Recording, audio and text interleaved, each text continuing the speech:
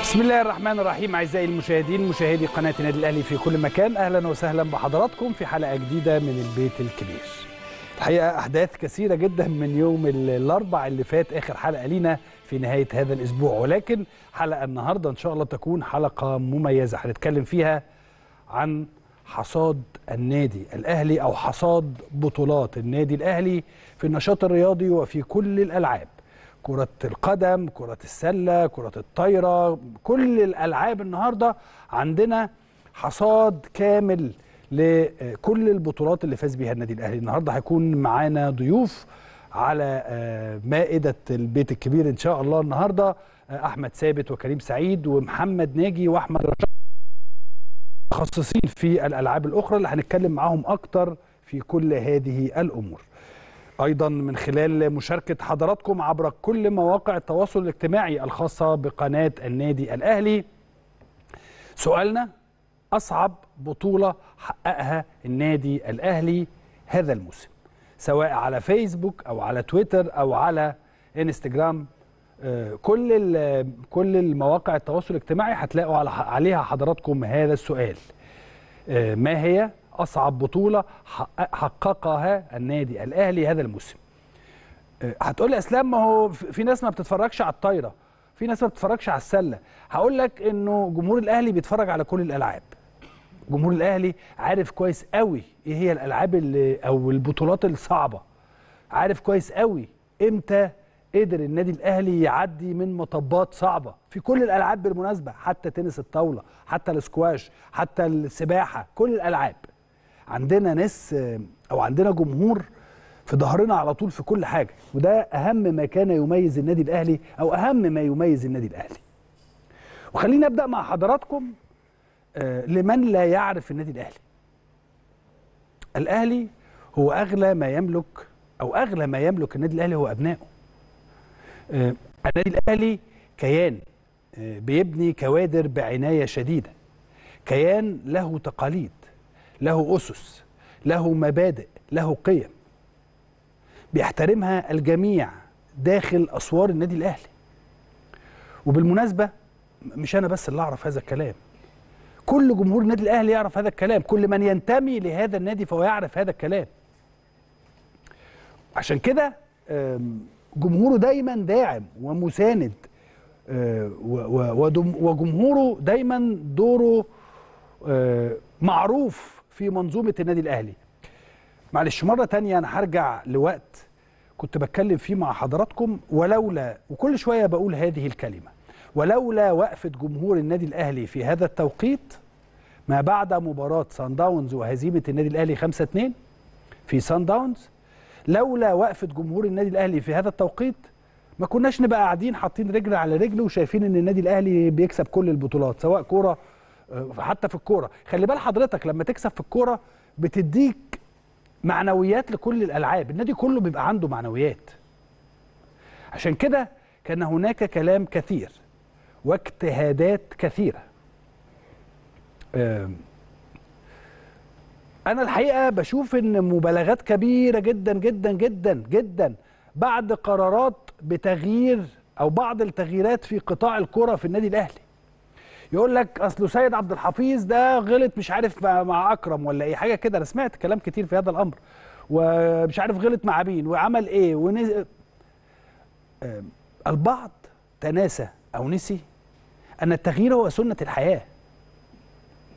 وخلي بال حضرتك وده عن معرفة. والكلام اللي أنا بقوله ده عن معرفة وعن تجارب كثيرة جدا. النادي الأهلي لا يأخذ قراراته دون دراسة. هو حضراتكم أو في حد يقدر ينسى إن النادي الأهلي يقدر جميع أبنائه؟ خصوصا أبنائه اللي زي سيد عبد الحفيظ. كابتن سيد عبد الحفيظ لمن لا يعلم كابتن سيد عبد الحفيظ هو يعني أنا بتشرف بإن أنا بنتمي لجيل سيد كابتن سيد. سيد عبد الحفيظ واحد من أقرب الناس إلى قلبي. سيد عبد الحفيظ مش قريب مني أنا بس قريب من كل جمهور النادي الأهلي. كلنا بنحبه كلنا بنعشق سيد عبد الحفيظ كلنا بنعشق إدارة الكرة أو إدارة سيد عبد الحفيظ لفريق الكورة. ولكن من يدخل من الباب أو من يدخل قلوب الجمهور الأهلي لا يخرج إلا من الباب الكبير. موسم تاريخي للنادي الأهلي ونجاحات كبيرة جدا لقطاع الكره وجميع الألعاب. ولكن خلي بالك النجاح بيجي في النقط دي في التفاصيل دي. هناك دراسة لكل تفاصيل الموسم. لكل تفاصيل الموسم. إيه اللي حصل هنا وإيه اللي حصل هنا وإيه اللي حصل هنا وإيه اللي حصل هنا بدون النظر إلى أسماء. دون النظر إلى أسماء. هل ممكن في التقييمات اللي جاية أي حاجة تحصل؟ كل شيء جايز. دايما المؤسسة التي تنجح تنجح. عندما يكون عندها رئيس يستطيع أن يقيم يستطيع أن يضع الأمور في نصابها علشان يقدر يقيمها. وبناء عليه اتخذت الإدارة قراراتها لصالح المنظومة لصالح منظومة كرة القدم. هو حد عنده شك غير غير في كده؟ النادي الأهلي أعلن توجيه الشكر لكابتن سيد عبد الحفيظ وعرض انضمامه للجنة التخطيط وعضوية مجلس إدارة شركة الأهلي لكرة القدم. وبالتالي يرى النادي الأهلي أن هناك خطوة أخرى تنتظر كابتن سيد. كابتن سيد قضى فترات طويلة جدا في منصب كرة القدم. والحقيقة إذا كنا بنتكلم عن 3 4 5 أسماء أساطير و... وكبار في عالم الإدارة أو في عالم مدير الكرة فهتجد إن سيد من الخمسة دول أو كابتن سيد عبد الحفيظ من الخمسة دول مهما اتقال ومهما عمل ومهما حصل هو ليه إحنا بنربط التغيير بالفشل؟ ليه بنربط التغيير بالفشل؟ فمنصب مدير الكرة واحد من المناصب الصعبة جدا محدش عارف إيه اللي كان بيحصل خلال الفترة اللي فاتت وبالتالي قرار التغيير هو قرار لإدارة الكورة والاستعانه بكابتن خالد بيبو اللي هتكلم عنه. واللي ارتأى فيه مجلس الإدارة أو ارتأت فيه إدارة الكره جاهزية كابتن خالد لتولي هذا المنصب وبدء مهام عمله. وعلى الجانب الآخر كان كابتن وليد سليمان بيتم إعداده كنائب لرئيس القطاع عشان أي ظرف في مثل هذه الظروف. خلي بال حضرتك مفيش حاجة بتتعمل وخلاص. مفيش حاجة تتعمل إن قد يكون هناك قرارات كان من من الواجب اتخاذها مثلا من شهرين ثلاثة ولكن لظروف معينة أرجئت هذه القرارات. أنا هنا مش بتكلم على سيد أنا بتكلم بشكل عام. كابتن وليد دلوقتي أصبح جاهز لتولي منصب رئيس القطاع قطاع الناشئين. وخلي بال حضرتك كله تحت التقييم. كله تحت التقييم. أنا كراجل مسؤول بتوسم إن كابتن خالد بيبو هيستطيع بما له من خبرات سواء مع أكاديمية الكورة سواء مع قطاع الناشئين بما له من خبرات إدارية إن هو يكون في هذا المنصب ويستطيع أن يفرض سياسة النادي على الجميع اللي موجودين. أدي أدي الفكر. لكن هل ده معناه تقليل من كابتن سيد عبد الحفيظ؟ مين يقدر يقول كده؟ هل حد فينا ما بيحبش كابتن سيد عبد الحفيظ؟ هل حد في النادي الأهلي ما بيحبش كابتن سيد عبد الحفيظ؟ القرار تم إعلانه بصيغة ليس فيها أي لبس. أما بقى حيثيات خلي بال حضرتك إحنا عمالين نسمع أخطاء و... وحاجات غريبة جدا بتتسمع. إشمعنى الحاجات دي ظهرت دلوقتي؟ أنا متأكد أو أنا تأكدت بنسبة 100% أن هناك كلام بيتقال لمجرد إن أنا أعمل فيديو أطلع على البث المباشر على الفيسبوك مثلا أو على أي وسيلة وسائل من وسائل التواصل الاجتماعي عشان أعمل فيوز فأطلع أقول إيه؟ والله كابتن سيد عبد الحفيظ ده عمل أكرم توفيق مش عارف إيه وأصل سيد عبد الحفيظ عمل إيه؟ فأنا رأيي أن حيثيات القرار تخص مجلس إدارة النادي الأهلي واداره الكورة. ومحدش ملزم بإعلانها للرأي العام وجهة نظري. الكلام اللي أنا بقوله ده جمهور الأهلي فاهمه كويس. جمهور الأهلي فاهمه كويس. عشان كده آه، بتلاقي جمهور النادي الأهلي إذا كان زعلان لا هو زعلان فعلا على كابتن سيد. آه ولكنه سيكون أول الداعمين لكل هذه القرارات في مختلف الملفات. حصلت قبل كده حصلت كتير قبل كده. و- ويظل جمهور النادي الأهلي هو الداعم الأول في كل شيء لأن ده ما بيحصلش غير في النادي الأهلي. واللي بيحصل ليس وليد لحظة مفيش قرارات لحظية بتتاخد في النادي الأهلي. الأهلي مش بيفرط في كوادره. الأهلي بيبني أجيال. كوادر بتسلم كوادر. وفي النهاية مش مصلحتي هي الأهم. مش مصلحة كابتن محمود الخطيب. مش مصلحة كابتن حسام غالي. مش مصلحة كابتن زكريا ناصف. مش مصلحة كابتن محسن صالح. مش مصلحة كابتن سيد عبد الحفيظ. مش مصلحة كابتن خالد بيبو. مش مصلحة آه، فلان. لا. مصلحة النادي الأهلي هي الأهم. ولا أعتقد أن هناك أحرص على مصلحة النادي الأهلي من مجلس إدارته. و- وأنا كنت بتكلم الكلام ده من يو... الأربع اللي فات. كنت بقول هذا الكلام. عندنا جمع... جمعية عمومية اختارت مجلس إدارة اختار مديرين أو تنفيذيين يقدروا يعملوا كل اللي هم عايزينه أو كل اللي الجمعية العمومية عايزاه. وعشان كده النهارده زي ما قلت لحضراتكم هنوري حضراتكم أنا أنا بحضر للحلقة دي بقالي أسبوع. هنوري لحضراتكم كمية الجهد المبذولة علشان هذه البطولات تكون داخل النادي الأهلي. في عشان كده في حلقتنا النهارده هنتكلم عن إنجازات النادي الأهلي. اوعوا تخلوا حد يفكر يعكر فرحتكم بالموسم التاريخي للنادي الأهلي. لأن بعض من لا يشجع النادي الأهلي بيحاول ياخد ال social media في سكك مختلفة. كابتن سيد عبد الحفيظ أدى ما عليه. ولفترة طويلة وبالمناسبة مكالمة طويلة جدا بيني وبين كابتن سيد ولكن لن أستطيع أن أتكلم في هذه الأمور على الشاشة. لن أستطيع أن أتكلم في أي حاجة لأنها حاجات شخصية بين واحد وصاحبه. كابتن سيد من أفضل الشخصيات اللي تتعامل معاها في حياتك. كابتن سيد بعيدا بقى عن كرة القدم وبعيدا عن أي حاجة. إذا كان إحنا بنتشاور في حاجات كتيرة في حاجات عائلية في حاجات خاصة بيا وحاجات خاصة بيه. وهنفضل صحاب وهنفضل أصدقاء وهيفضل كابتن سيد عبد الحفيظ جزء من تاريخ النادي الأهلي خلال الفترة اللي فاتت. وح... هو هو كابتن سيد عبد الحفيظ لو جه يوم واتقال له ارجع هيقول لأ. هتلاقوا أول واحد بيجري حبا واحتراما لاسم النادي الأهلي. فكابتن سيد بيعشق النادي الأهلي وخدم الكيان لآخر ثانية في مشواره. أنجح واحد من أنجح مديرين الكرة في تاريخ القلعة الحمراء. المنصب اللي تواجد فيه رموز كبيرة زي ما قلت لحضراتكم وأسماء رائعة. قول زي ما تقول أنا مش عايز أقول أسماء لأنه كلها أسماء.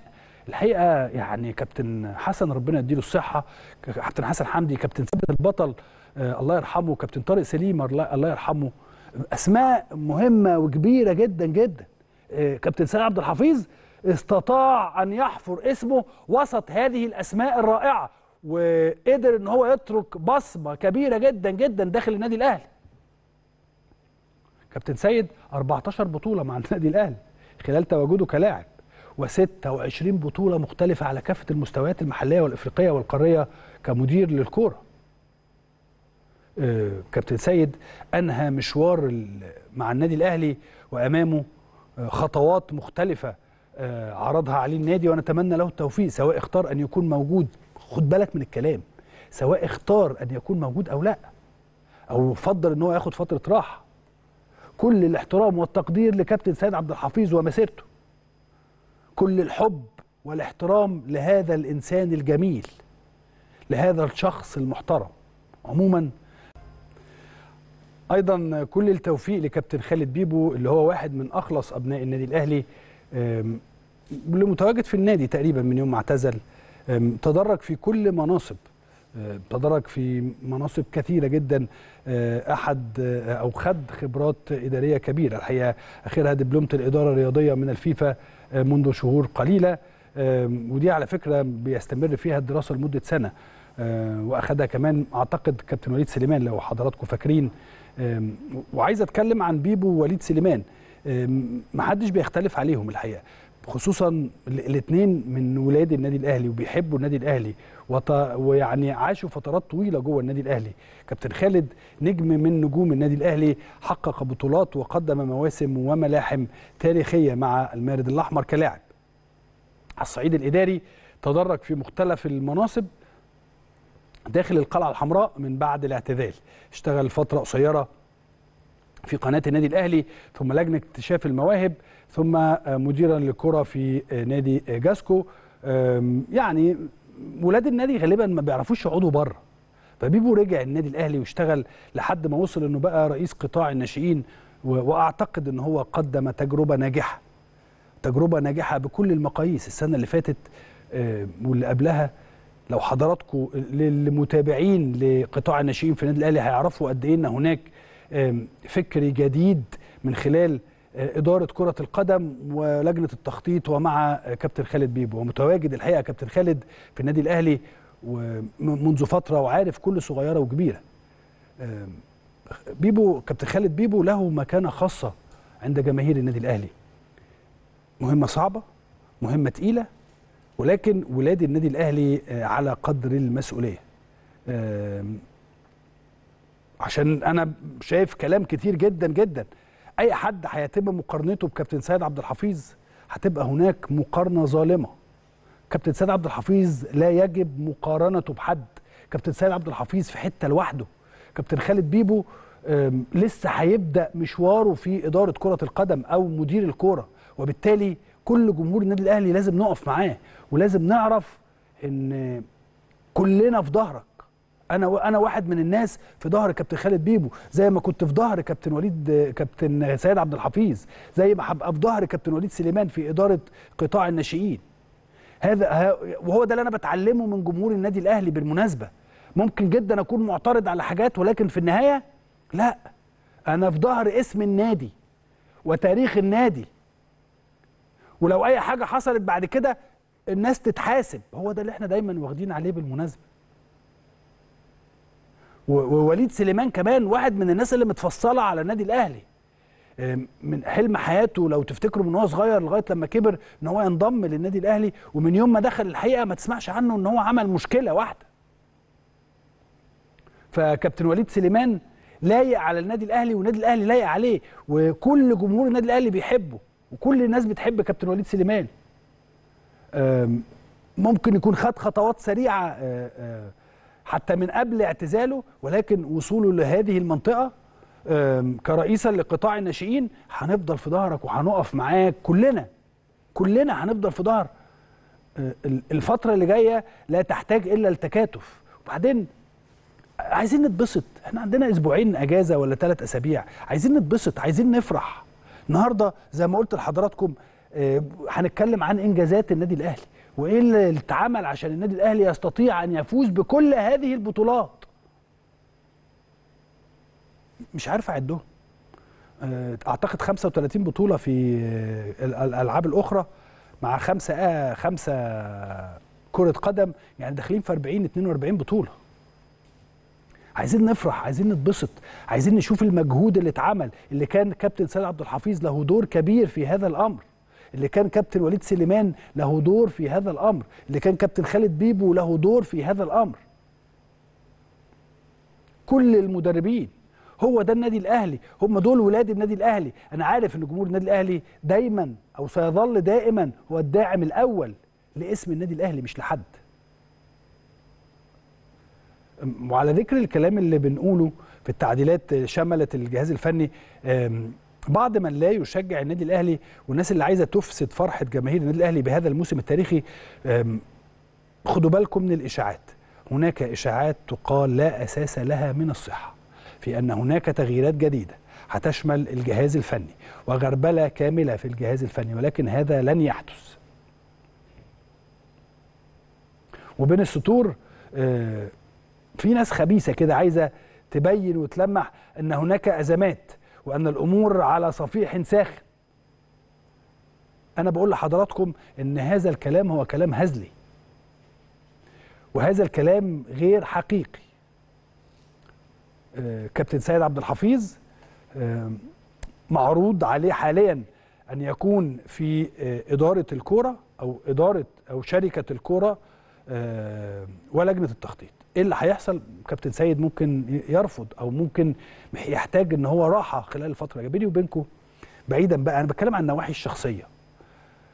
واحد بقاله سبع ثمان سنين حياته كلها في النادي.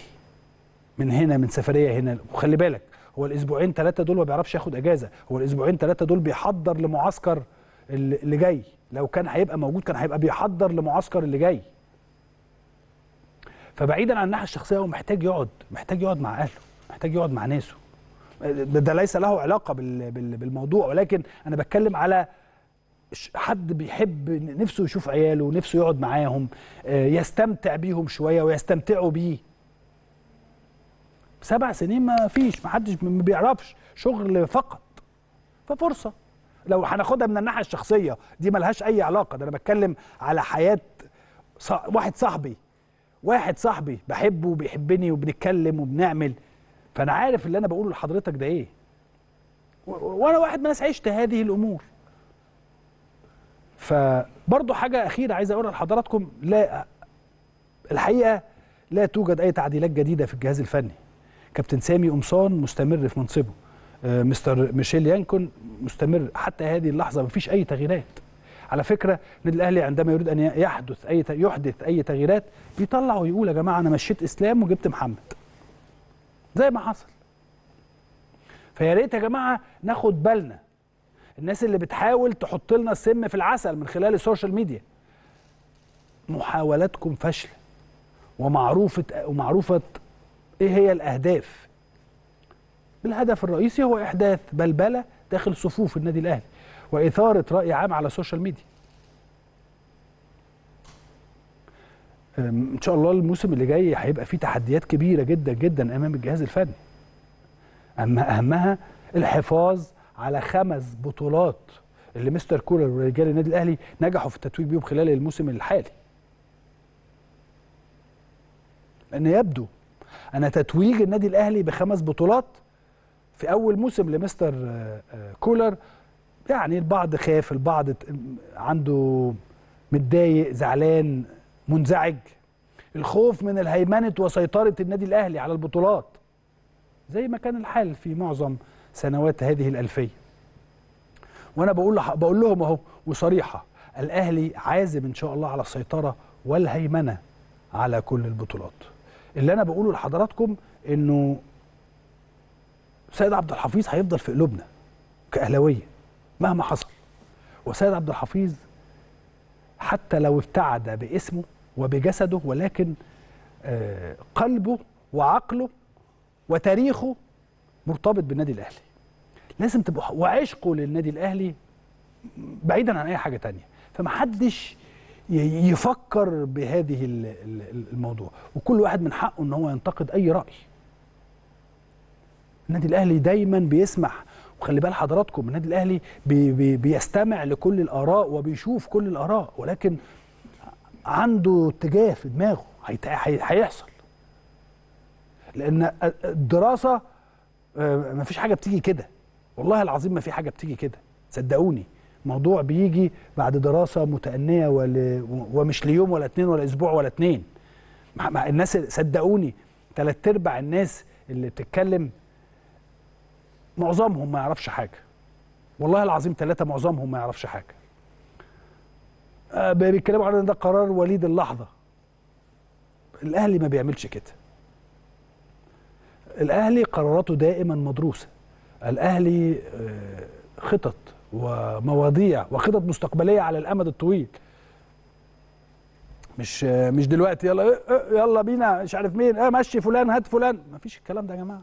صدقوني هذا الكلام غير حقيقي. ولكن هل ده نحن ننتظر النجاح لكل الناس. هنبقى في ظهر كابتن خالد وهنبقى في ظهر كابتن وليد. ولكن على كابتن خالد وكابتن وليد إن هم يبذلوا أقصى مجهود وده اللي أنا متأكد منه وعارفه. هيبذلوا أقصى مجهود علشان إن شاء الله ربنا يكرمهم ويستطيع كابتن خالد إن هو آه، يسير بالفريق النتائج ما حدش عارف إيه اللي ممكن يحصل. ولكن يسير بالفريق, بالفريق الكرة إلى الطريق الصحيح زي ما كان كابتن سيد ماشي بفرقة الكرة في الطريق الصحيح. آه، آخر حاجة بس هقولها ومرة تانية. كابتن سيد عبد الحفيظ هيفضل واحد من أو جزء كبير من تاريخ النادي الأهلي. عمرنا ما هنقول غير هذا الكلام وعمرنا ما هنغير هذا الكلام. ولكن آه، كابتن خالد بيبو هو مدير الكرة الآن. كلنا في ظهره كلنا هنقف معاه والفترة القادمة تحتاج إلى آه، الالتفاف وتحتاج إلى شيء آخر إن إحنا نتبسط ونفرح ونشوف إحنا خدنا بطولات إزاي. آه، 40 42 43 بطولة. خدنا كل البطولات دي إزاي؟ النادي الأهلي عمل إيه علشان ياخد كل هذه البطولات؟ كده النهارده قررنا إن إحنا آه، يبقى عندنا ضيوف خاصة بهذه الأمور. أحمد ثابت وكريم سعيد هيتكلموا عن كرة القدم وكيف استطاع النادي الاهلي أن يفوز بخمس بطولات. آه، محمد ناجي وأحمد رشاد هيتكلموا عن الألعاب الأخرى وحصاد الموسم الرياضي. ونتكلم بقى عن الإنجازات والبطولات ونفرح ونتبسط. جبنا معانا كابتن خالد العوضي وعملنا هنا حلقة. الحقيقة كانت آم، جميلة جميلة ورائعة بحضراتكم وبيكم. النهارده أيضا آه، لكل جمهور النادي الأهلي افرحوا اتبسطوا. آه، خليكوا سعداء. خليكوا سعداء. آه، خلينا نطلع فاصل. وعايز حضراتكم تبعتوا لنا على كل مواقع التواصل الاجتماعي. إيه أصعب بطولة حضرتك كأهلاوي شايفها؟ سواء في كرة القدم أو في الألعاب الأخرى. هنطلع فاصل وبعد هذا الفاصل هنستقبل ضيوفنا. زي ما قلت لحضراتكم لعرض إنجازات وبطولات النادي الاهلي في هذا الموسم على قد ما نقدر طبعا لأنها بطولات كثيرة جدا وأمور كثيرة جدا. بعد الفاصل كريم سعيد وأحمد ثابت أحمد رشاد ومحمد ناجي في ضيافة البيت الكبير. أهلا وسهلا بحضراتكم مرة أخرى أعزائي المشاهدين. خلوني أرحب بضيو- بضيوفي في هذه الفقرة. وزي ما قلت لحضراتكم النهارده فقرة احتفالية. هنحتفل أكتر بعدد البطولات اللي خدها النادي الأهلي. أنا الحقيقة ما بسألهم عدد البطولات قد إيه. هنتكلم في كل البطولات كل بطولات ألعاب الصالات الألعاب الفردية كل حاجة. الحقيقة عندنا عدد كبير جدا جدا من البطولات في هذا الموسم التاريخي. آه، يستحق كل واحد عمل شغله في النادي الأهلي يستحق كل التحية وكل التقدير. خلوني الأول أرحب بضيوفي في هذه الفقرة. كالعادة كريم سعيد ازيك يا كيمو ازيك يا كابتن اسلام أخبارك إيه؟ الحمد لله. أيضا أحمد ثابت. ازيك يا أبو حميد. الحمد لله. أخبارك إيه؟ كله الحمد لله كويس؟ كله تمام؟ متأكد؟ مش قوي. اشمعنى مركز؟ أحمد عشان البدله عشان البدله كان لابس البدله هو الوحيد هو اللي الوحيد اللي لابس طب تعالى اقعد مكاني انت اللي المفروض تقعد بقى. ازيك يا ناجي. الحمد لله أخبارك تمام. يا حبيبي؟ الحمد لله. طبعا أخبارك إيه؟ الحمد لله يا كابتن كله كويس؟ سعيد إن أنا موجود مع حضرتك. ربنا. يخليك. يا حبيبي هنتكلم مع محمد ناجي وأحمد رشاد. ازيك يا أبو حميد. حبيبي يا كابتن ربنا؟ يخليك. أنا حالق سعيد. ومروق النهارده. آه. سعيد إن أنا بقى. موجود معاك يا كابتن ومع زمايلي وعلى قناة النادي الأهلي. ربنا يخليك يا أبو حميد. هنتكلم أكتر مع أحمد رشاد ومحمد ناجي عن ألعاب الصالات والألعاب الأخرى. وعندنا مفاجآت كثيرة جدا وعدد كبير من ال- إن شاء الله الصفقات التي يحتاجها النادي الأهلي خلال مش هنقول أسماء طبعا ولكن هنقول لحضراتكم إيه هي الصفقات اللي هتيجي. أح- آه، كريم خليني أبدأ معاك. نعم. آه، خمس بطولات وكالعادة. إحنا اتكلمنا بشكل مفصل خلال الأيام السابقة على البطولات اللي خدها ال- ال- النادي الأهلي ولكن آه، موسم تاريخي ويستحق كل منظومة كرة القدم في النادي الأهلي تستحق التحية. أكيد يا كابتن إسلام إحنا على مدار الأسابيع الماضية وبعد حسم النادي الأهلي رسميا لبطولة الخماسية الس- السنة دي أكيد كل ال- ال- المنظومة بداية من مجلس الإدارة وصولا للجهاز الفني وكل اللاعبين أكيد كلهم يستحقوا الإشادة للطفرة اللي حصلت. وأنا حابب دلوقتي كمان نجاوب على سؤال الناس كتير جدا بتسأله هو إيه اللي فرق النادي الأهلي السنة دي محليا عن السنتين اللي فاتوا. وحابب إن السؤال ده يعني على ألسنة ناس كتيرة وناس كتيرة ممكن بتجاوب إجابات عامة مش إجابات متخصصة أو إجابات فيها أرقام. أنا أيوة. حابب نجاوب بالأرقام. أيوه. واحدة من أهم الأسباب اللي تخلينا نقف على قوة المنافسة في الدوري المحلي أو إزاي تحسم الدوري المحلي هو قوة الدفاع. الدفاع هو اللي بيحسم بطولة الدوري الممتاز ويخليك دايما تنهيها بشكل مبكر. وعشان كده أنا عايز أعمل مقارنة بسيطة سريعة ما بين آخر أربع مواسم للنادي الأهلي في الدوري. موسم مع رينيه فايلر واثنين وموسمين مع بيتسو موسيماني وموسم مع مارسيل كولر. اتفضل. موسم 2019 2020 النادي الأهلي أحرز حقق 89 نقطة طبعا رقم قياسي في النقط. أحرز 74 هدف واستقبل 8 أهداف. نادي الزمالك الوصيف حقق 50 هدف ودخل مرمى 27 هدف وحقق 68 نقطة. طيب الموسم اللي ورا موسم 2020 2021 نادي الزمالك توج باللقب بعد ما وصل لنقطه 80 وأحرز 61 نقطة ودخل مرماه 21 هدف فقط يعني حسن دفاعه بفارق 6 أهداف. النادي الأهلي حصل له دروب في مسألة الدفاع. أحرز 72 هدف دخل مرماه 29 هدف ووصل للنقطة 76 يعني كان هو في الموسم اللي قبليه. دفاعه استقبل 8 أهداف مع أول موسم لبيتسو موسيماني. دفاع النادي الأهلي تقريبا شبه انهار في الدوري. دخل مرماه 29 هدف يعني بزيادة 21 هدف. طيب نروح للموسم اللي بعديه 2021 2022 نادي الزمالك حقق البطولة لما حقق احرز 77 نقطة حقق 62 هدف تقريبا نفس عدد الأهداف اللي حققها في موسم 2020 2021 واستقبل 29 هدف. في حين النادي الأهلي آه طلع ثالث في المسابقة دي وأحرز 62 هدف ودخل مرماه 21 هدف وحقق 70 نقطة. مع مارسيل كولر بقى تعال نبص عمل إيه النادي الأهلي حقق 83 نقطة. أحرز 63 هدف ربما تبقى عدد الأهداف اللي أحرزها أقل من الأهداف اللي أحرزت في السنتين بتوع بيتسو موسيماني لكن تعال نبص على الدفاع 13 هدف فقط. وبالتالي هنا كانت جدا هو تركيز مارسيل كولر عاده الأهلي. أحب على مسؤولية جهاز الأحمال في تقليل الإصابات ووضع اللاعبين في وضع مثالي لخوض موسم ما يزيد عن 70 مباراة زي ما كنت أنا وأحمد سيد بنتكلم خلال الأسبوعين اللي فاتوا فدي إحنا عايزين نحطها قاعدة لينا عشان حتى بعد كده نبقى نحكم من على الفريق من خلالها الدفاع قوة الفريق الدفاعية هي أول اليمنت أو أول عنصر لازم أي محلل أداء أو لازم أي صحيح. منظومة تحليل أداء نبص عليها لتقييم أي مدير فني قادم أو حتى حالي في, النادي الأهلي. الدفاع هو الم... السبيل الأساسي ليك لتحقيق البطولة المحلية. الدفاع ده مش معناه إن أنا بدافع يعني إن أنا بدافع بس ما آه، بهاجمش. لكن ده الدفاع الأفضل. من الهجوم. الله ينور عليك. بنتكلم على عدد الأهداف المسجلة في مرمانا إزاي النهارده ننزل بالرقم؟ طالما إن إحنا تنزل أقل من 13 هنتكلم في التفاصيل. أنا مش عايز تفاصيل دلوقتي. على طول لأن إحنا لسه عندنا وقتنا إن إحنا ناخد كل التفاصيل يا أحمد. ولكن 28 بطولة 23 س- ألعاب وخمسه ألعاب أخرى يعني وخمس بطولات آه، لكرة القدم. مرة تانية هذا الموسم أنا مش أنا لوحدي. كل جمهور النادي الأهلي وكل الإدارة وكل العاملين في مجال الرياضة في مصر بيعتبروا هذا الموسم هو موسم تاريخي للنادي الأهلي. طبعا موسم تاريخي بكل تأكيد في جميع الألعاب نجاح على مستوى جميع الألعاب في النادي الأهلي آه، على مستوى القدم على مستوى اليد على مستوى الطايرة على مستوى السلة أنت النهارده مشارك في السنة واحدة في كأس الفريق الوحيد في العالم اللي مشارك في كأس عالم للأندية قدم ويد وسلة. فدي حاجة تحسب لل- للنادي الأهلي ومجلس. إدارة النادي الأهلي طبعا تحديدا في كرة القدم أنت بتاخد خمس بطولات. أنا بشوف إن اللي فرق معانا قوي السنة دي لو رجعنا كده من بداية السنة فترة الراحة اللي قررت إدارة النادي الأهلي أو لجنة الكرة في النادي الأهلي إن هي تعطيها للعيبة في نهاية الموسم الماضي. أعتقد إن دي فرقت كتير جدا. طبعاً.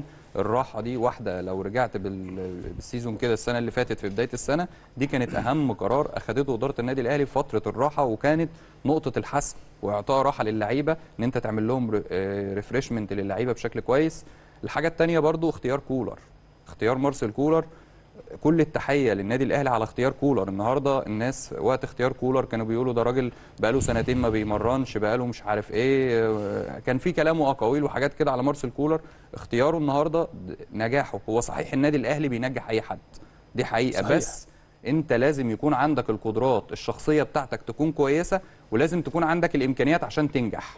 ده ده النجاح مع منظومتي يعني مثلا جه قبله ريكاردو سواريش ما نجحش. ليه؟ ما عندوش الإمكانيات أو ما okay. كانش موفق مع النادي الأهلي. لكن لما جه كولر كولر نجح بنسبة 100% لو استعرضنا أرقام كولر حتى. هنس لا هنتكلم في أنا عايز بس أتكلم بشكل عام الأول بعد كده إحنا هنخش في في. تفاصيل في, التفاصيل ال- في الألعاب الصالات. تقول التفاصيل اللي أنت عايزها ما آه. تقلقش.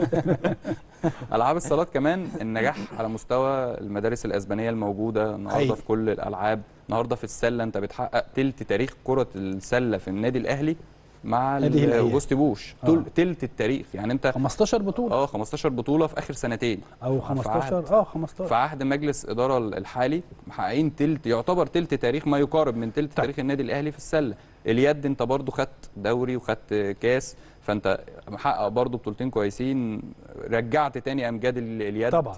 ال- الطايرة برضو أعتقد إن المنافسة واللي حصل في كرة اليد في ال- في الطايرة في السيدات أعتقد إن ده طيب. يعني نجاح كبير للنادي الأهلي. آه، 23 بطوله في كل الالعاب اعتقد ان ده آه، مهم جدا آه، ان إحنا نقول للناس الطفره اللي حصلت إيه اللي حصل عشان يبقى في مش عايز تفاصيل دلوقتي إحنا بنتكلم بشكل عام وبعد كده هنخش في ملخص. الكلام يا كابتن انه كان في تخطيط بشكل مدروس وشكل سليم الاهلي بيبني آه، للنجاحات اللي بيحققها في العاب الصالات دلوقتي مش من مش من نتيجه السنة اللي فاتت أيوه ده نتاج آه، عمل متواصل آه، اتبنى سنه بعد سنه آه، عطفا على الكلام اللي كان بيقوله كريم إنه كده كده إنه يعني دايما بيتقال في إنه منظومة الدفاع هي بتكون الأهم في في, في كل الألعاب مش مش في الكورة بس يعني إحنا كريم صحيح. كان بيتكلم وبيذكر آه، الموضوع القدم. دلوقتي كره القدم لأن ده ال- ال- الظاهرة اللي ممكن تكون واضحة لكل الناس كعوام أو الناس كلها كل الجماهير تبقى قادرة إنها. تشوفها لكن في basketball is defense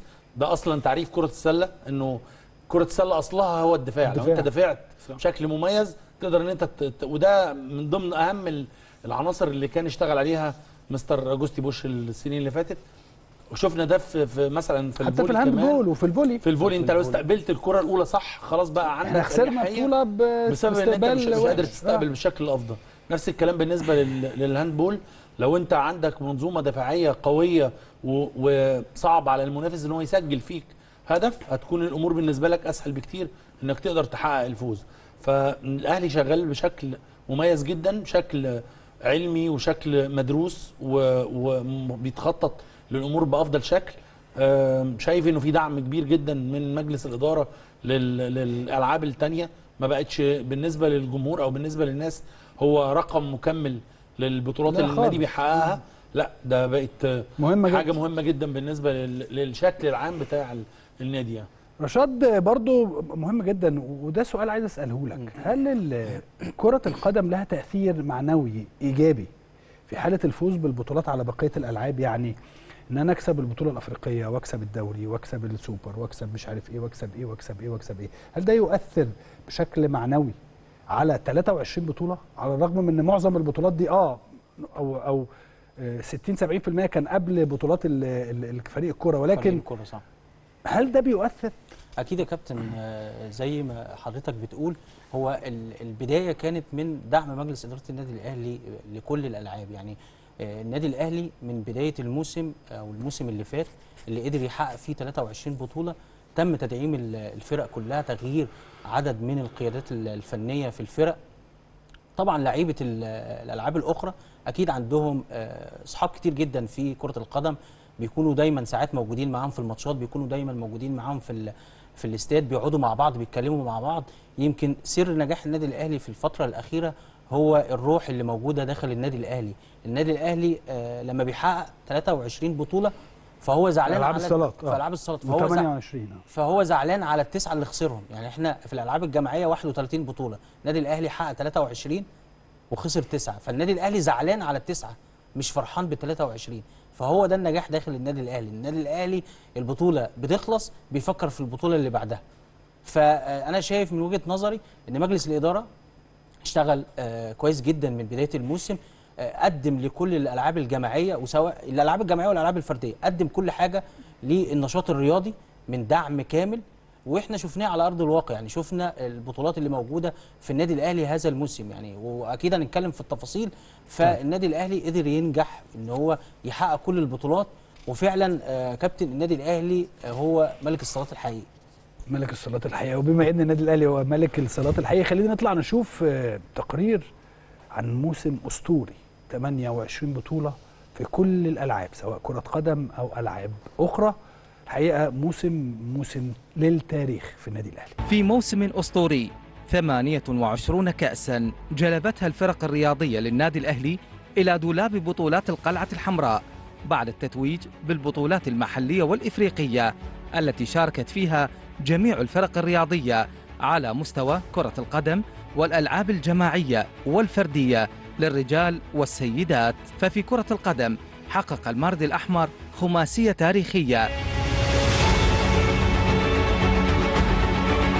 كما نجحت فرق القلعة الحمراء الرياضية باكتساح هذا الموسم بامتياز وحصلت ألقاب 23 بطولة ليهيمن المارد الأحمر على عرش البطولات لهذا الموسم ليثبت مجددا بالفعل لا بالقول إن النادي الأهلي الإمبراطورية الرياضية التي لا تغيب عنها شمس البطولات والذي نجح في أن يعتلي عرش ألقاب الألعاب الجماعية في مصر وإفريقيا وواصل هيمنته على لقب الأندية الأكثر تتويجا بالبطولات في العالم برصيد 148 لقبا. إضافة لثلاث ميداليات برونزية لكأس العالم للأندية موسم استثنائي مكافأة للجمهور الكبير الوفي الذي يقف وراء جميع الفرق الرياضية وللإدارة الحكيمة بقيادة الكابتن محمود الخطيب ومجلسها. وجميع من ينتمي لكيان الأهلي على التفاني والتركيز في العمل الجاد.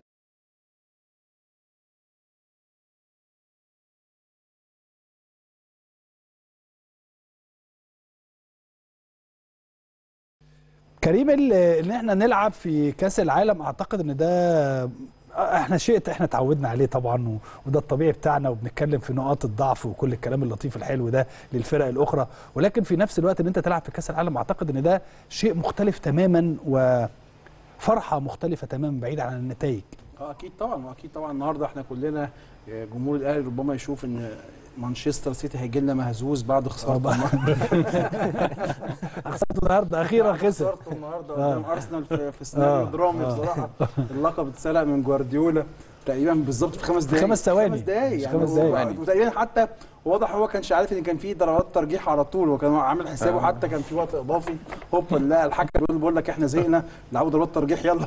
عشان تتغلبوا عشان تتغلبوا عشان تروحوا للأهلي مهزوزين. أكيد طبعا. أكيد طبعا كابتن إسلام شيء مميز جدا. أنت على مدار كام سنة بتلاعب فرق مختلفة. دي حلاوتها كمان. يعني مثلا ما, ما, ما رحتش مونديال الأندية في الفترة اللي ريال مدريد اكتسح فيها أوروبا ثلاث سنين ورا بعض. لا إحنا سنة بنلاعب آه، بايرن ميونخ. سنة بنلاعب ريال مدريد السنة دي شوف أنا على المستوى الشخصي أحب إن إحنا نلعب جوارديولا بس ما أحبش ألعبه في ال semi final؟ يعني أنا نفسي أوصل. الماتش طبعا لعب ودي. لكن أمانة المرة الأولى طبعا آه يعني هنلعب مونديال الانديه في المملكة العربية السعودية أكيد برضو في زخم جماهيري كبير هناك وب- وبدون شك إحنا النهارده كلنا من ش... يعني شغلتنا في الصحافة بتخلينا مطلعين على الصحافة أمريكا اللاتينية والصحافة أمريكا الشمالية والصحافة أوروبا. النهارده اسم النادي الأهلي بقى اسم معتاد جدا جدا جدا جدا. تلاقيه في الأخبار وبيتحط مع كبار أندية العالم. النادي الأهلي النهارده حتى في كل المنتديات على تويتر على فيسبوك حتى على على ثريدز التطبيق الجديد. لا ان اسم الأهلي النهارده ك brand بقى اسم مختلف للدرجة للدرجة اللي خلت آه، الحارس السنغ... الحارس السنغالي راح أهلي جد آه، مندي. مندي مندي. لما كانوا بيتكلموا على الصفقة فبيقول لك ده مندي دخل على اليوتيوب آه. بيتفرج على آه. بطولات النادي الأهلي. الاهلي المصري. متخيل؟ آه. فهي الفكرة في إيه يا كابتن؟ الفكرة النهارده إن أنت إزاي النهارده في النادي الأهلي خلال السنوات الأخيرة مجلس الإدارة نجح في تسويق ال brand بشكل كويس وكمان طبعا نتائج الفريق الأول وقوته وادائه الجيد في مباراة حتى رغم الهزيمة من ريال مدريد. 4-1 هزيمة ربما تكون كبيرة لكن اللي شاف الماتش وشاف سيناريو الماتش يقول انت شفنا النهارده لما كان ثابت كان في الإمكان أفضل. مما كان ولكن صحيح. أنشيلوتي بيتكلم ما بين الشوطين عن النادي الأهلي إزاي. ماتش كان صعب جدا جدا على ريال مدريد بنجومه ولعب full team حد كانش في حد غايب.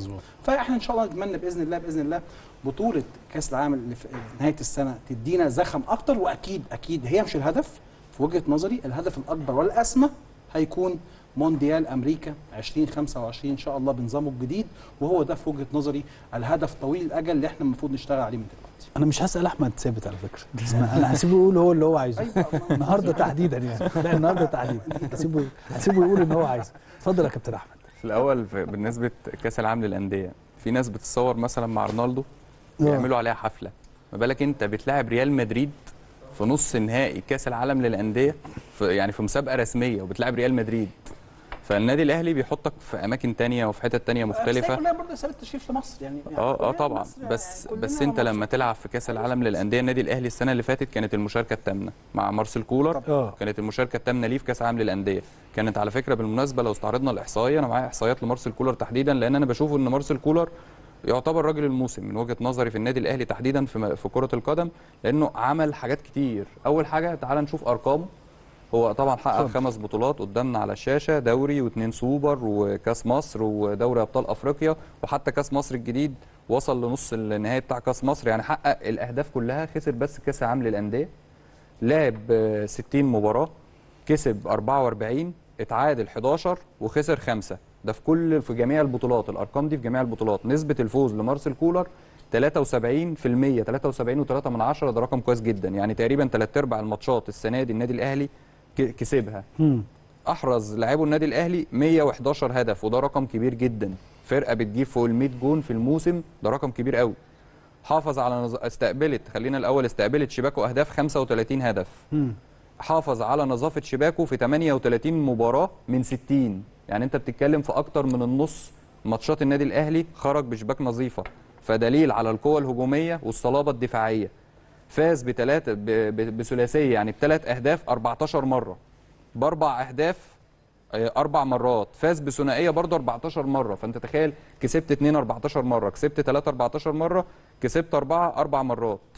طبعا تفوق على نادي الزمالك مرتين في المباريات الكبيرة يعني مرت- مرتين أو ثلاث مرات تفوق على بيراميدز في كل المباريات ما خسرش من الزمالك ولا خسر من بيراميدز. فالراجل محقق العلامة الكاملة بصراحة واحد من المكاسب الكبيرة جدا الموسم ده. مارسيل كولر لو بصيت برضو على أرقام مارسيل كولر في الدوري تعال نقيم الدوري. زي ما كريم كان بيتكلم على نقطة الدفاع. تعال شوف هو أكثر الفرق تسجيل للأهداف في الدوري النادي الأهلي مع مارسيل كولر 63 هدف. أقل الفرق استقبالا للأهداف النادي الأهلي 13 هدف. أكثر الفرق تحقيق للشباك النظيفة في الدوري 23 مباراة. مارسيل كولر 23 مباراة. أكثر الفرق تحقيقا للفوز 25 مباراة. أقل الفرق هزيمة خسارة من بيراميدز بعد حسم الدوري اللي هي كانت 3-0 فتعتبر دي برضو واحدة من يعني الأرقام الممتازة لمارسيل كولر في الدوري مع النادي الأهلي. برضو تعال ننقل لدوري أبطال أفريقيا. دوري أبطال أفريقيا النادي الأهلي مع مارسيل كولر. أنت اتكلمت على الدوري تعالى دوري أبطال أفريقيا. النادي الأهلي حقق أعلى نسبة تسجيل أهداف السنة دي منذ بداية دور المجموعات مع مارسيل كولر. النادي الأهلي مسجل كام؟ هتلاقي فيه الأهلي في دوري أبطال أفريقيا 2023 حقق أعلى معدل تسجيل أهداف 23 هدف.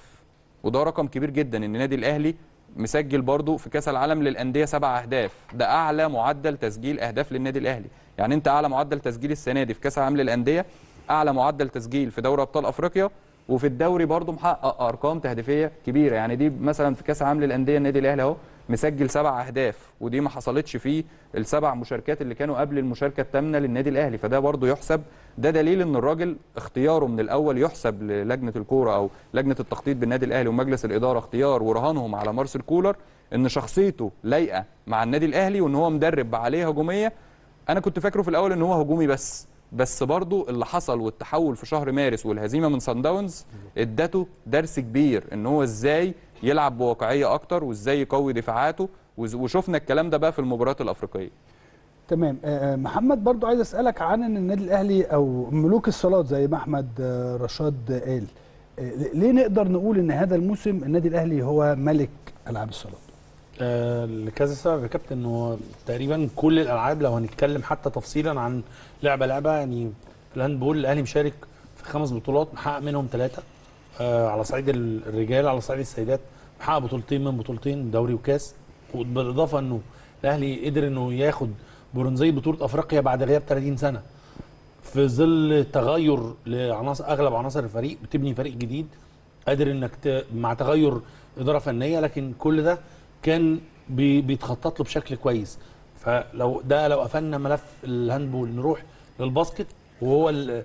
بالنسبة لي فرقة الأكثر تميزا أو الأكثر نجاحا على مستوى ال- السيدات. العلامة الكاملة خمس خمس بطولات من خمس بطولات. بالنسبة للرجال محققين أربع بطولات من ست بطولات. وهنا هنيجي نتكلم على نقطة مهمة. كابتن انه الفوز بدوري أبطال أفريقيا أو البال. وده إدى الأهلي رقم قياسي ما قدرش حد يحققه حتى الآن. انه النادي الاهلي النادي الوحيد على مستوى العالم اللي هيشارك في كل بطولات كأس العالم في الألعاب الجماعية المختلفة. يعني لو لو إحنا طبعا كده ما كده اليد. لا اشت- اشتركنا آه اليد صح آه اليد. يعني إحنا السلة، كده الطايره كده ما عدا الطايرة سوري. الطايرة اشتركنا ثلاث مرات قبل قبل كده. اشتركنا قبل كده آه قبل لكن كده النهارده أنا بتكلم على السنة هو دي السنة دي إحنا مش ما تأهلناش. لكن هو على مدار التاريخ مفيش نادي قدر يتأهل في الألعاب الجماعية. كورة يد سلة طايرة. على مدار التاريخ. في- في كل الألعاب دول في الأربع ألعاب يعني لو لو مثلا اتكلمنا على أي نادي تاني يعني كده كده مثلا برشلونة عنده handball آه، اتأهل لكأس عالم أندية كرة قدم اتأهل لكأس عالم أندية في في كرة اليد آه، من الأندية الكبيرة في أوروبا في ال basket لكن ما عندوش volley مثلا لو رحنا هنا على المستوى ال- المحلي الزمالك قدر إنه يتأهل في كأس عالم كرة اليد كرة السلة كرة ال- الكره الطايرة لكن ما قدرش إنه يتأهل في كرة القدم. فالنادي الأهلي هو النادي الوحيد على مستوى العالم دلوقتي اللي عنده أنديته شاركت في كأس العالم للأندية. فموسم استثنائي موسم استثنائي مش عشان أنت كمان كسبت رقم 23 بطولة بس. لا أنت كمان حققت بطولات غالية. ليها ثمن وليها حطتك في حتة تانية وبقت خلت اسم الأهلي فعلا زي ما كريم كان بيقول إن اسم الأهلي بقى brand بقى, بقى حاجة تقدر إنها تتسوق عالميا. مش مش إن أنت كمان بتقول إنه الأهلي النادي الأكثر تتويجا على مستوى العالم في ال- الألقاب أو البطولات أو النادي الأف... النادي القرن الحقيقي أو المسميات كتير لكن اسم الأهلي لوحده أصلا بقى brand دلوقتي. بطولات كثيرة جدا في السلة زي ما إحنا شايفين في الطايرة في ال handball في الطفرة اللي كان بيتكلم عليها ناجي في البداية قال لك إنه مجلس الإدارة ابتدى من فترة. صحيح. كيف استطاع مجلس إدارة النادي الأهلي إن هو آه، يكون جيل مع جيل مع جيل مع جيل حتى يصل إن هو تقريبا ياخد كل حاجة في هذا الموسم؟ أكيد يا كابتن يعني مع طبعا في ظل وجود كا- كابتن خالد العوضي في النشاط. الرياضي يعني. في النشاط الرياضي كان في تخطيط واضح وتخطيط ناجح من بداية الموسم يا كابتن. بس عايز أقول لحضرتك على حاجة مهمة يا كابتن. يبقى أنا اتكلمت عن ال 23 بطولة آه، اللي حققهم النادي الأهلي. يعني النادي الأهلي يعتبر النادي الوحيد الأكثر تتويجا ببطولات هذا الموسم. الحاجة المهمة جدا في النادي الأهلي اللي شفناها في الموسم اللي فات وهنشوفها في الموسم اللي جاي وهو الاعتماد على اولاده العنصر الشباب. أما دي الحاجات اللي الناس عايزة تسمعها بقى. آه ال- النادي الأهلي اعتمد في في الموسم الماضي على عنصر الشباب اعتمد على اولاده النادي الأهلي عنده قطاع آه، ناشئين وناشئات مميز جدا. قدر النادي الأهلي إن هو يدعم الفرق يعني يمكن النادي الأهلي لما بيدعم صفقات من بره بيدعم المراكز اللي هو محتاجها لكن بيعتمد بشكل كبير جدا على أولاده. حتى في القطاعات أو الشغل الإداري في النادي الأهلي كان موجود ولاده. يعني آه، مودي الجرحي كان موجود في قطاع الناشئين والناشئات الموسم اللي فات قدر إن هو يحقق العديد من البطولات أو اكتسح يعتبر كل البطولات في كرة السلة.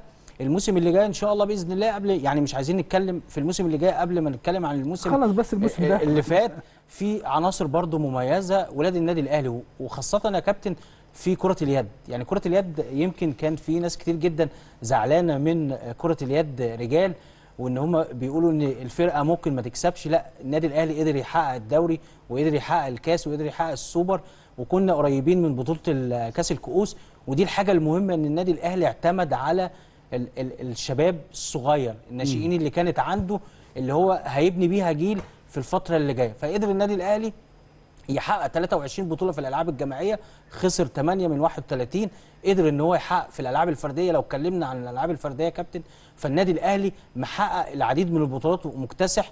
فدايما النادي الأهلي كان موجود على كل منصات التتويج وهو ده قدر النادي الأهلي يا كابتن إن هو ما بيلعبش غير على المركز الأول ودايما ما بيلعبش على غير البطولات.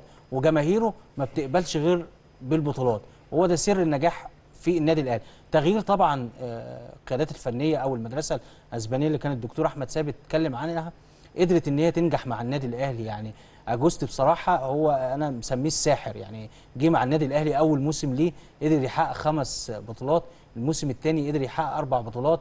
ديفيد ديفيز أول موسم ليه مع النادي الأهلي يقدر يحقق الدوري والكاس. فده شغل آه، واضح جدا من مجلس إدارة النادي الأهلي قدر إن هو مجلس إدارة النادي الأهلي يوفر لكل الألعاب الجماعية والفردية من بداية الموسم علشان نشوف البطولات اللي إحنا بنشوفها في النادي الأهلي دلوقتي.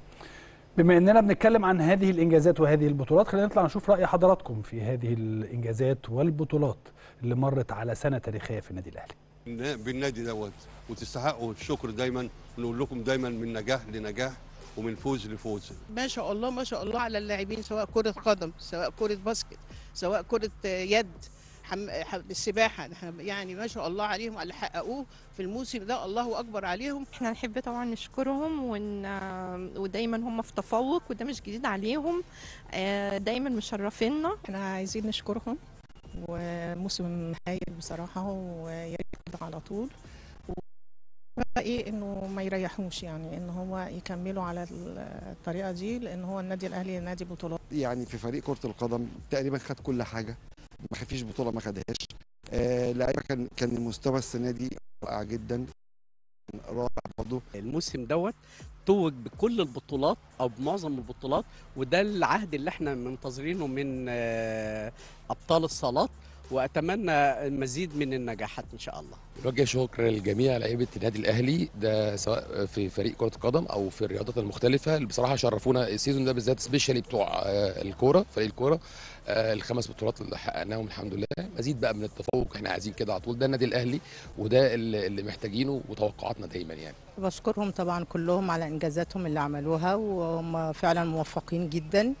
ومزيد إن شاء الله من التفوق ومن الإنجازات ومن البطولات. في منتهى السعادة بألعاب الصالات ورجال ألعاب الصالات وكابتن محمود الخطيب والمدربين اللي جابهم لألعاب الصالات من أحسن المدربين اللي في العالم برضو وده بالنتائج مش كلام. والله لو رسالة هنوجهها للمجلس هي دايما هتبقى رسالة شكر. مجلس مجتهد مجتهد قيادة محترمة فكر راقي إنجازات كتيرة جدا جدا على المستوى أو على القطاع المحلي والعربي والإفريقي بل بالعكس إحنا داخلين في العالمية في حاجات كتير قوي. والله إحنا بنشكر كابتن محمود الخطيب ومجلس الإدارة وكل الأجهزة الفنية في الألعاب كلها سواء كرة القدم ألعاب الصالات كورة طايرة سلة يد كان مجهود كبير واللعيبة كلها تعبت في كل الألعاب خصوصا الكورة. الكلمة على الصالات صارت طفرة كبيرة جدا بعد فترة ركود ونجاح وده برضو يحسب الحقيقة للكابتن خالد العوضي إنه عمل تعويضات بلعيبة ولاعيبات مهمين جدا. آه، الكرة طبعا لا حدث ولا حرج يعني. بحب أقول لهم شكرا عشان المجهود اللي هم عملوه والبطولات الكتير اللي هم جابوها لنا. ده عهدنا دايما بالنادي الأهلي. نادي كبير ما شاء الله. آه، إدارة قوية إدارة منظمة. آه، فعاليات عالية جدا. دايما بيهتم بأعضائه وبجماهيره. وإن شاء الله مزيد من النجاح بإذن الله للنادي وال والانتصارات. طيب آه، سؤالنا اللي حضراتكم آه، بتجاوبوا عليه على كل صفحات التواصل الاجتماعي آه، أي بطولة صعبة؟ فكريم كان بيقول لي كان بيبص على السؤال قال لي الناس كلها مجاوبة سؤال آه، اجابه واحدة.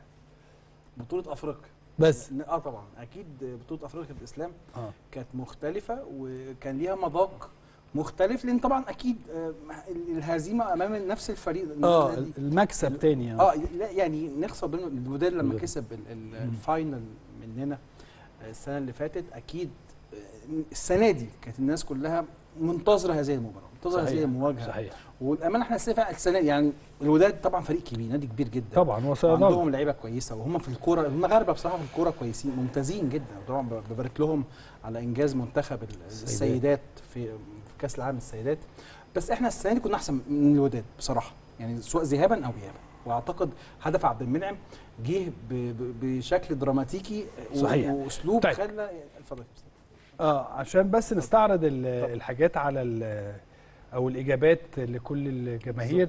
أو زي ما كريم قال مختار آه، قايد دي من على صفحة الفيسبوك آه، بطولة أفريقيا حازم آه، بيقول دوري أبطال أفريقيا هيما ال- الفقي بيقول دوري أبطال أفريقيا آه، قول محمد أو علي محمد بيقول بطولة أفريقيا. يوسف علاء آه، طبعا أفريقيا كانت صعبة آه، لكن الأهلي ادى اي صعوبات أشكرك جدا. خالد سامح اللي بيقول دوري أبطال أفريقيا. بيت بيتر بساعدة بيقول دوري أبطال أفريقيا. حمو الحرزاوي بيقول أفريقيا. محمد عزت كعبيش بيقول أفريقيا. خلينا نروح لإنستجرام ونشوف برضو آه، إجابات حضراتكم. واضح إن هي بطولة أفريقيا طبعا بس ما فيش صعب على أعظم نادي في الكون. آه، أيمن زهير بيقول دوري أبطال إفريقيا. رانيا بتقول أفريقيا طبعا. سبورتنج كهربا أفريقيا. آه، يسري بيقول أفريقيا أكيد. يوسف محمد أفريقيا أكيد. كمل انستجرام. شيماء آه، مصطفى بطولة دوري أبطال أفريقيا. محمود دوري أبطال أفريقيا. ل- ل- لولا لولا دوري أبطال أفريقيا. حمدي آه، بيقول دوري الأبطال أكيد أفريقيا. نروح لتويتر. أسامة سعيد الحادية عشر يعني طبعا أفريقيا. محمد آه، مرضي دوري الأبطال أفريقيا. حسين دوري أبطال أفريقيا. كريم موسى بيقول بطولة أفريقيا. منتصر محفوظ دوري أبطال أفريقيا.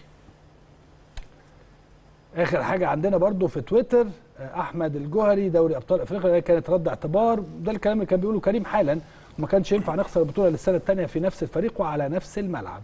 كمال عرفة ما فيش بطولة تس- تستعصى على الأهلي يا إسلام. الأهلي وجد ليتوج بكل البطولات.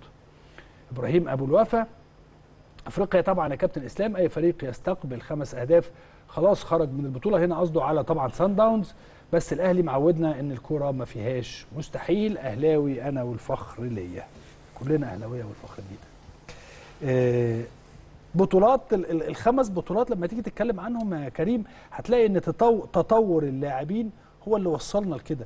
هو اللي وصلنا كان هناك بعض ال- الشك في نعم. في الناحية الهجومية مثلا. ولكن إحنا اتكلمنا عن الأرقام لما كان أحمد ثابت بيتكلم إن الأرقام عالية جدا في النواحي الهجومية. ولكن التطور الواضح في وجود مدير فني يعرف كيف يطور اللاعبين. هو السبب الرئيسي وجهة نظري نعم. في اللي إحنا وصلنا.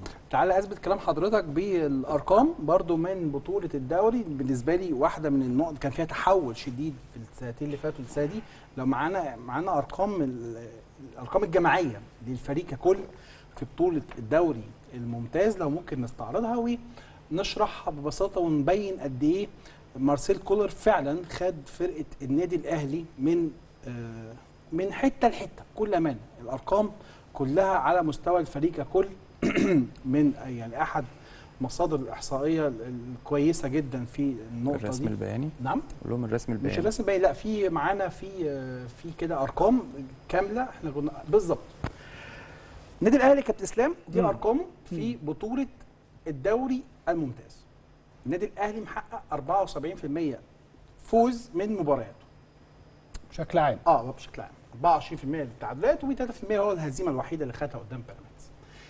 الأهداف المتوقعة للنادي الأهلي في مبارياته الإجمالية 2 1.9 يعني هدفين ده رقم كبير جدا.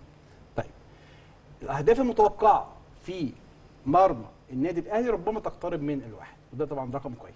طيب في السكور في المب... ال- في قصدي صفر فاصل ثلاثة ده الأهداف اللي هي اللي إحنا ممكن نستقبلها. الأهداف برضو المتوقعه بنتكلم على 1.8 هو برضو يقترب من هدفين. average أهداف النادي الأهلي في المباراه الواحده هدفين فاصل هدفين فاصل اثنين ده رقم رقم كبير جدا في بطولة محلية المفروض يكون فيها تنافس كبير.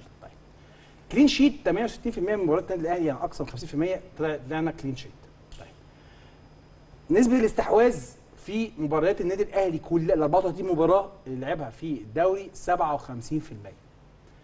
النادي الأهلي بيسدد في المباراه الواحده أربعة ما يقرب من 14 تسديدة. طيب. نسبة الفاولات اللي بتتحسب على النادي الأهلي 11 واللي بيتحسب ضده 10 بنتكلم على تطور كبير جدا كل الأرقام تقريبا إيجابية للنادي الأهلي. معانا برضو صورتين ل آه، توقيتات أهداف النادي الأهلي اللي بيسجلها واللي بيستقبلها. ونشوف إزاي مثلا أهو مثلا كل 15 دقيقة. تعال نبص كده على أول شوط هنلاقي النادي الأهلي في أول ربع ساعة أحرز 13% من أهدافه. من الدقيقة 16 للدقيقة 30 أحرز 19% من أهدافه. من الدقيقة 31 للدقيقة 45 أحرز 17% من أهدافه. يعني أنا أعتقد 17 و19 أدي حوالي 36 وكمان 13 أدي حوالي 49 يعني 50% من أهداف النادي الأهلي بيتم إحرازها. بس نعم. في التوقيتات الحاسمة آه وفي الشوط الأول آه. كمان تعال بقى نكمل كمان يا ناجي ونبص على الشوط الثاني تلاقي إن حتى النادي الأهلي برضو اللياقة البدنية مكملة معاه. إن يعني من 46 60 ومن 41 ل 75 بيسجل 16 تعال بقى من 76 90 بلس 90 بتاع الأهلي 19 لا 19 ده يبين لك قد إيه إن ده واقف على رجلك وقادر آه، إنك تكمل برافو عليك. إن أنت السنة دي الحالة البدنية بتاعتك مخلياك تلعب كل كوارتر بنفس تقريبا بنفس المستوى. طب تعال نبص على الأهداف اللي إحنا استقبلناها. برضو بنفس آه، التوقيتات. ال- كل ربع ساعة نبص. النادي الأهلي في أول ربع ساعة استقبل 8% من الاهداف التم استقبالها أقصى مدة عندنا في وجهة نظري آخر ربع ساعة في كل شوط ليه؟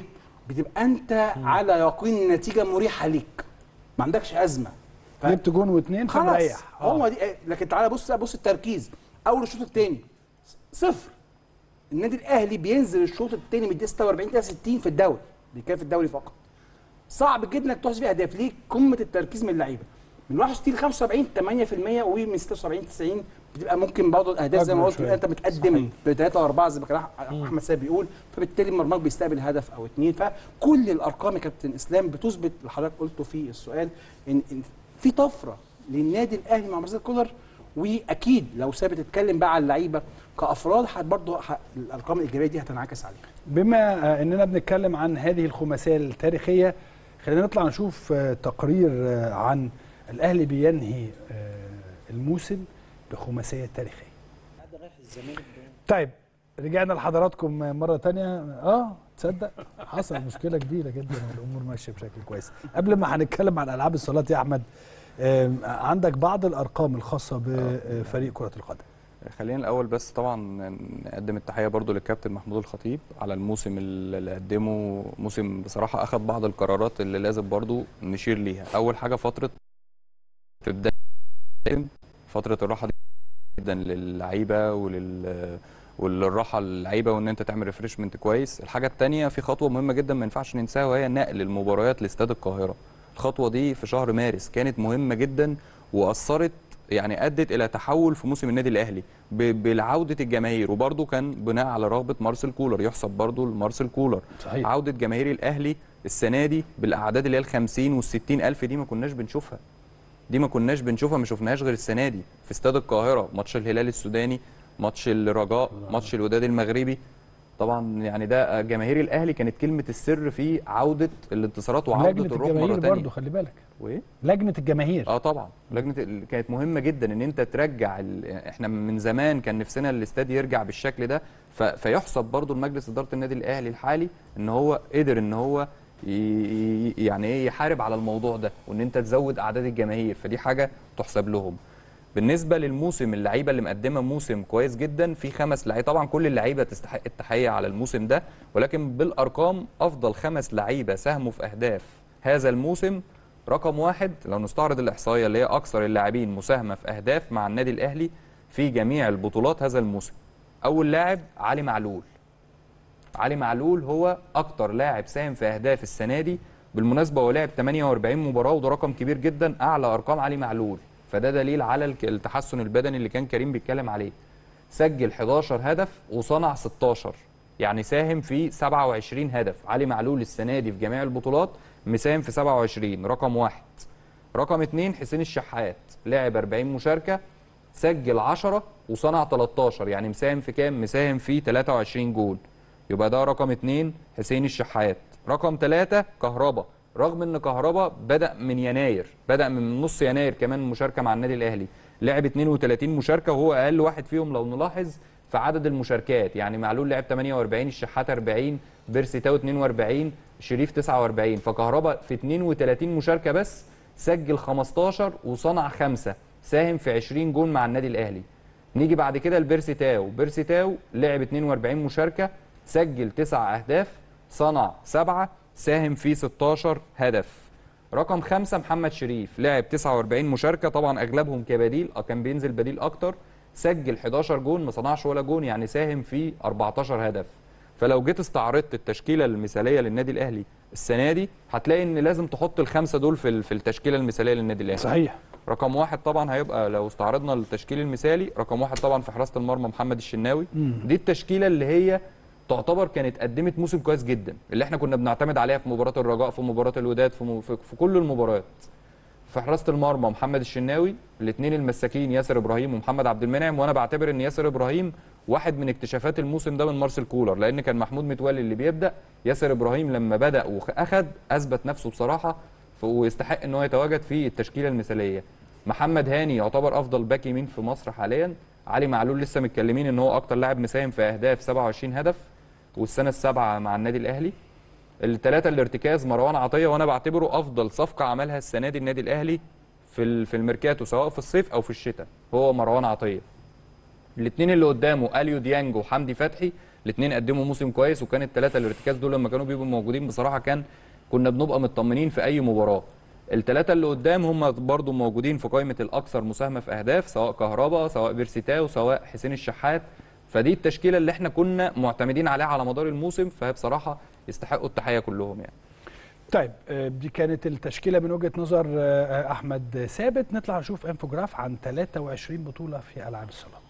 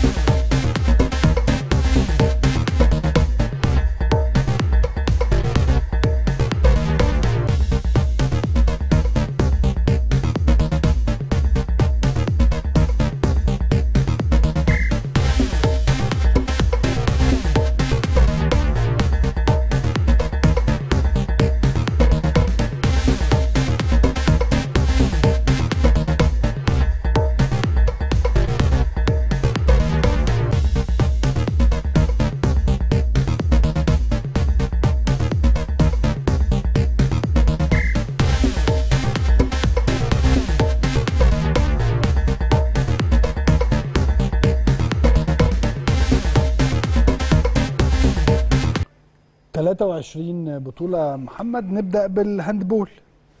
آه ال handball نجاح كبير جدا الموسم ده تحديدا. آه الأكثر نجاحا وجهة نظري لأنه كنا في حتة الحقيقة بعيدة خالص خالص. آه بعد أربع سنين إخفاق يا كابتن دوري الأهلي مش واخد على كده. آم، كان صعب جدا. في لعيبة كتير جدا يعني من اللعيبة اللي كانت موجودة في في الفريق إسلام حسن إبراهيم المصري. لعيبة تقيلة ولعيبة كبيرة ولعيبة ليها تقل في المنتخب فمش واخده على إنها تخسر على تفاصيل صغيرة صحيح. إحنا خلي بال حضرتك إحنا آه خسرنا الدوري أربع سنين متتالية بس كان لغاية آخر صفارة أنت ممكن تاخد تاخد الجيم وتاخد المباراة آه ده ما هو ده لكن- اللي كان بيجنن ده اللي كان يجيب لك جلط أكتر.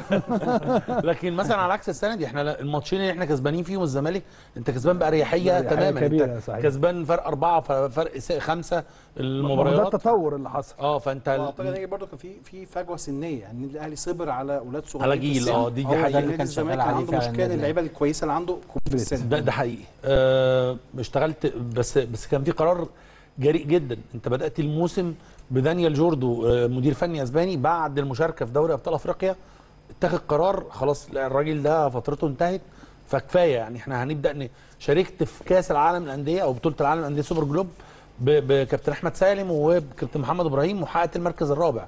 في إنجاز تاريخي إنك تكون أول نادي آه، آه، أفريقي وعربي يفوز على نادي أوروبي هو نادي بنفيكا. فكان يعني تطور مهم جدا وكان دي بداية إنه آه، إنك توصل رسالة لكل الناس لعيبتك اولا ولجمهورك وللعيبة المنافسين إنه لا الأهلي يستنوه. السنة دي هتكون الدنيا مختلفة. الأمور هتكون كان أكبر تحدي إنك تقدر تكسب أول بطولة. مجرد ما هتكسب بطولة أنا كنت متأكد إن الأهلي خلاص هتدين ليه السيطره. الأمور هتبقى ليها شكل ومنحى تاني خالص. قدرت إنك تفوز بالدوري. قابلت الزمالك بعدها بأسبوع في قبل نهائي كأس مصر. قدرت إنك تفوز على الزمالك وت- وتخلص ال- الكاس قدام سبورتنج فرق 10 يعني مش كسبان حتى بجون ولا بجونين فرق أنت مخلص فريق. سبورتنج. فريق قوي جدا قوي. وفريق مميز يعني خلي بالك كمان الفروق السنين الجاية في ال handball هتكون مش أهلي وزمالك بس يعني السنين اللي فاتت كان طبعا كل اسكندريه يعني اسكندرية مميزة في كرة اليد وتنس الطاوله النادي الأولمبي. ده ده. ده أكيد سبورتنج الأولمبي السبورتنج دلوقتي يعني أنا بتفرج على منتخب مصر للناشئين الولاد الصغيرين اللي هم مواليد آه، 2004 19 سنة. فيهم أكتر من لاعب مميز جدا في نادي سبورتنج ولعيبه لعيبه كتير أعتقد بعد سنتين ثلاثة هتكون الخناقة على ما بين الأهلي والزمالك عليهم. فلازم متابعة برضو للعيبة دي لأن فيهم لعيبة كتير مميزين. لكن أنت دلوقتي still يعني بنتكلم دلوقتي إنه حتى الراجل ديفيد ديفيز مش عايز صفقات جديدة اتعرض عليه أسماء كتير جدا جوه جوه ال ال ال السوق الراجل اكتفى بالتدعيمين الاثنين اللعيبة اللي تم التدعيم بيهم وقال أنا خلاص أنا هقدر إن أنا هسافر بلعيبتي وقدر إن هو خلاص إحنا اوريدي الفرقة دلوقتي موجودة في سلوفينيا عندها معسكر خارجي استعدادا بعد كده لل- هرسك. آه، آه، بعديها بقى نشارك في بطولة كأس الأبطال كنا بنتكلم فيها أنا ودكتور أحمد إن فيها انديه كتير مميزة على مستوى العالم هتكون موجودة لأنهم بالنسبة لهم تحضير برضو للموسم. آه آه. بطوله وديه لكن فيها جدا. انديه قوية جدا يعني آه، على مستوى السيدات الفوز ب أو استعادة بقى الدوري والكاس مرة تانية كان عندنا دروب حصل في السنين اللي فاتت إن كان في تغيير بقى لعناصر كبيرة ناس بتبطل ناس عندها ظروف أسرية ناس اتجوزت و... وعندها ظروف فمش قادرة إنها تكمل لكن تم التدعيم بشكل كبير جدا بمجموعة كبيرة من من عناصر مهمة موجودة بالإضافة إن أنت صعدت لعيبة كتير من عندك من قطاع الناشئات آه، ثبتوا مستواهم وقدروا إنهم يكونوا ند قوي جدا كمان في بطولة آه، كأس الكؤوس الأفريقية إحنا في البطولة ما خسرناش غير من فرقتين أنجولا بس وبأمانة يعني يا كابتن عشان الواحد فرق كبير. لا لا لا آه، فرقتين أنجولا دول ممكن يخلصوا الجيم مع مع الفرق الرجال بتاعتنا. يعني الأمور تكون يعني متساوية يعني. لا لا لا أمور صعبة جدا يعني. آه على المستوى البدني على المستوى ال- ال- الفني على المستوى الذهني لا آه في حتة تانية خالص. طيب. لكن إحنا الأمور حتى كانت قريبة بيننا وبينهم يعني. طيب. عموما بما إننا بنتكلم طبعا إحنا عملنا مع النجم الكبير ومدير النشاط الرياضي كابتن خالد العوضي. آه، هو معانا على التليفون طبعا دلوقتي. يا كابتن خالد ازي حضرتك؟ مساء الفل يا كابتن إسلام ازي حضرتك؟ إزيك يا كابتن؟ أخبارك إيه؟ كله تمام؟ أخبارك إيه؟ أنت كله كويس؟ والله الحمد لله كله زي الفل يعني. الأستاذ محمد ناجي والأستاذ أحمد رشاد والأستاذ سليم سعيد والأستاذ أحمد سليم نعيم كثيرا جدا جدا جدا. حاجة رائعة يعني. يعني إحنا النهارده بنحتفل مع جمهورنا بعدد البطولات 23 بطولة في ألعاب الصالات الحقيقة أو في وبقيه الألعاب. وبالتالي يا كابتن خالد آه، كل التحية وكل التقدير. إحنا عملنا مع حضرتك حلقة طبعا يعني كانت الحقيقة من أحلى الحلقات ومن أجمل الحلقات اللي اتعملت في البيت الكبير. ولكن في النهاية يعني خلاص كل حاجة خلصانة وكل الناس بتاخد إجازات. بالعكس أنت بتبدأ بقى الموسم أو بالفعل كابتن خالد بالمناسبة يا جماعة ما خدش إجازة. يعني مش زي بقية ال ال ال الناس. كابتن خالد قاعد كل ما أكلمه طب معلش يا إسلام نص ساعة وكلمنا يكون بخلص بيخلص حاجة وما بيقوليش. هو بيخلص إيه؟ بس على ما فيش نفسه. مشكله طالما في الآخر هتقول الدنيا هتبقى ماشية إزاي مع في الوقت يعني طبعا اللي, اللي اللي بيتحددوه فإحنا بنبقى سعداء جدا. فأنا عارف إن ال إن ال الشغل كتير قوي يا كابتن خالد ولكن البطولات بتاعت السنة اللي فاتت مسؤولية كبيرة جدا لما هو قادم آه، بص يا كابتن اسلام طبعا بشكرك على الحلقة اللي حصلت وبشكرك على كل حاجة ودعمكم الكبير في قناة الأهلي وكل جمهور الأهلي بشكره جدا جدا. وبشكر مجلس الاداره على دعمه للفرق الرياضية في النادي الأهلي لكن فعلا الموسم السنة دي صعب جدا جدا جدا. هتكون أصعب موسم تقريبا على النادي الأهلي. نعم. بعد كم الإنجازات الكبيرة اللي حصلت السنة اللي فاتت آه الناس منتظرة أكتر والناس مش طالبة خسارة وإحنا نفس الكلام. كل مديرين الفنيين عندنا وكل رؤساء الأجهزة وكل الناس وكل الأجهزة المعنية بالبطولات وبالذات الألعاب الجماعية كلهم لا يكلوا لا يملوا كلهم بيطلبوا ال- ال- ال- الزيادة وكلهم عايزين يبسطوا جمهور النادي الأهلي ويجيبوا له بطولات أكتر وأكتر. أتمنى إن هم كلنا نكون على قدر المسؤولية السنة دي. السنة دي مسؤولية صعبة. محدش يرضى إن إحنا نخسر ماتش محدش يقدر إن إحنا نخسر بطولة. و- وخساره أي بطولة حققناها السنة اللي فاتت عندنا مشكلة كبيرة. إحنا مقدرين ده وع- وعارفين ده كويس. وأعتقد إن كل الناس شغالة على قلب رجل واحد الناس تقدر يعني جمهور الأهلي الآخر يكون مبسوط بفرقه الجماعية عندنا في النادي وكل الألقاب وكل الالعاب الفردية كمان إن كل الناس بقت متابعة كل حاجة عندنا. فالحمد لله بإذن الله تعب تعب السنة بإذن الله أو تعب الشهور اللي أنت بتقول عليه إحنا ما ريحناش. ما أعتقدش إن في مدير فني عندي ريح لغاية وقتنا هذا ولا لعيب ولا أي حد. حتى لعيبتنا اللي لما ريحوا راحوا منتخب مصر. فيعني إن شاء الله بإذن الله هيكون موسم بإذن الله على قدر المسؤولية المسؤولية وعلى قدر النادي الأهلي باسمه وبإذن الله هيكون يرضى جماهير النادي الأهلي نتمنى التوفيق. واتمنى دعواتكم لينا عشان نقدر نعدي الموسم الجديد بإذن الله. أنا عايزك بس تطمن جمهور النادي الأهلي على آه، آه، يعني كل الألعاب طبعا ولكن الطائرة تحديدا. بص يا كابتن أنا أنا بس عايز أقول لكم أنا قاعد في المكتب ومعايا كابتن أصل خلي بالك أنا عارف بعض الأمور بس أنا مش هعرف أتكلم. يعني أنا مش أنا ما بيخلينيش أنا أتكلم. لك يعني أنا بتكلم بصراحة شديده اتفضل. طمنوا على كل حاجة. إحنا عندنا مجلس إدارة بيدي سبورت لكل حاجة. بقول لك أنا لسه قاعد أنا وكابتن إبراهيم فخر الدين دلوقتي برضو على موضوع الطائرة سيدات بناخد وندي مع بعض في الكلام وبنشوف أحسن وسيلة لل- لل- للبنات اللي نقدر نطلع بيها بنتيجة كويسة. نعم. بإذن الله بإذن الله إذا كانت الطايره رجال خاص المدير الفني الاسباني هيوصل بإذن الله في أول في كمان يومين بالظبط. وبإذن الله هيبدأ شغل على آخر الشهر لأن أنت عارف الطايره عندنا كاسات عالم وعندنا آه، في بطولات كتيرة جدا لفرق الطايره فهنبدأ في شهر 11 تركيزه شوية متاخر لكن اللي أنا بطمنه إن إحنا أي مدير فني عندنا في النادي أو أتواجد في راجل آه، آه، كابتن مدير فني في النادي الاهلي طلب طلب أو بيطلب طلب نقدر نلبيه له هندسي مجلس الاداره مش بيتأثر عن أي حاجة. وبإذن الله اللي جاي بإذن الله بإذن الله هيكون أحسن. وفي كل الألعاب الطايرة بإذن الله عندنا كابتن وليد فخر الدين مدير فني كبير. طبعا مش محتاجين نتكلم على مين كابتن وليد فخر الدين. الراجل الاسباني اللي جبناه نفس الكلام عنده إنجازاته. فإن شاء الله بإذن الله هيقدروا ياخدوا وهيقدروا يبسطوا جماهير النادي الأهلي ويحطوا النادي الأهلي في المكان الم- المظبوطه ليه وتاني هقول واكرر النادي الأهلي فاتت ما خسرش النادي الأهلي خسر بطولة كأس في سيدات ال- الفولي. والناحية الثانية خسرنا دوري وكأس آه ناس زعلانة. لكن بقول برضو إن فرقنا طلع بنتائج كويسه السنة اللي فاتت لكن إن شاء الله هيكون على قدر طموح الجماهير وعلى قدر طموح اللي إحنا عايزينه. إن إحنا هنكسب الدوري والكأس وبإذن الله نرجعوا لل masters والكل عارفين مين ال masters في مصر وهو فرقة الطايرة في النادي الأهلي. آه، كابتن خالد آه، يعني أنا مش هطول معاك ولكن آه، هل محتاج إن أنت تقول حاجة لجمهور النادي الأهلي من خلال البيت الكبير؟ آه، الصفقات اللي ب...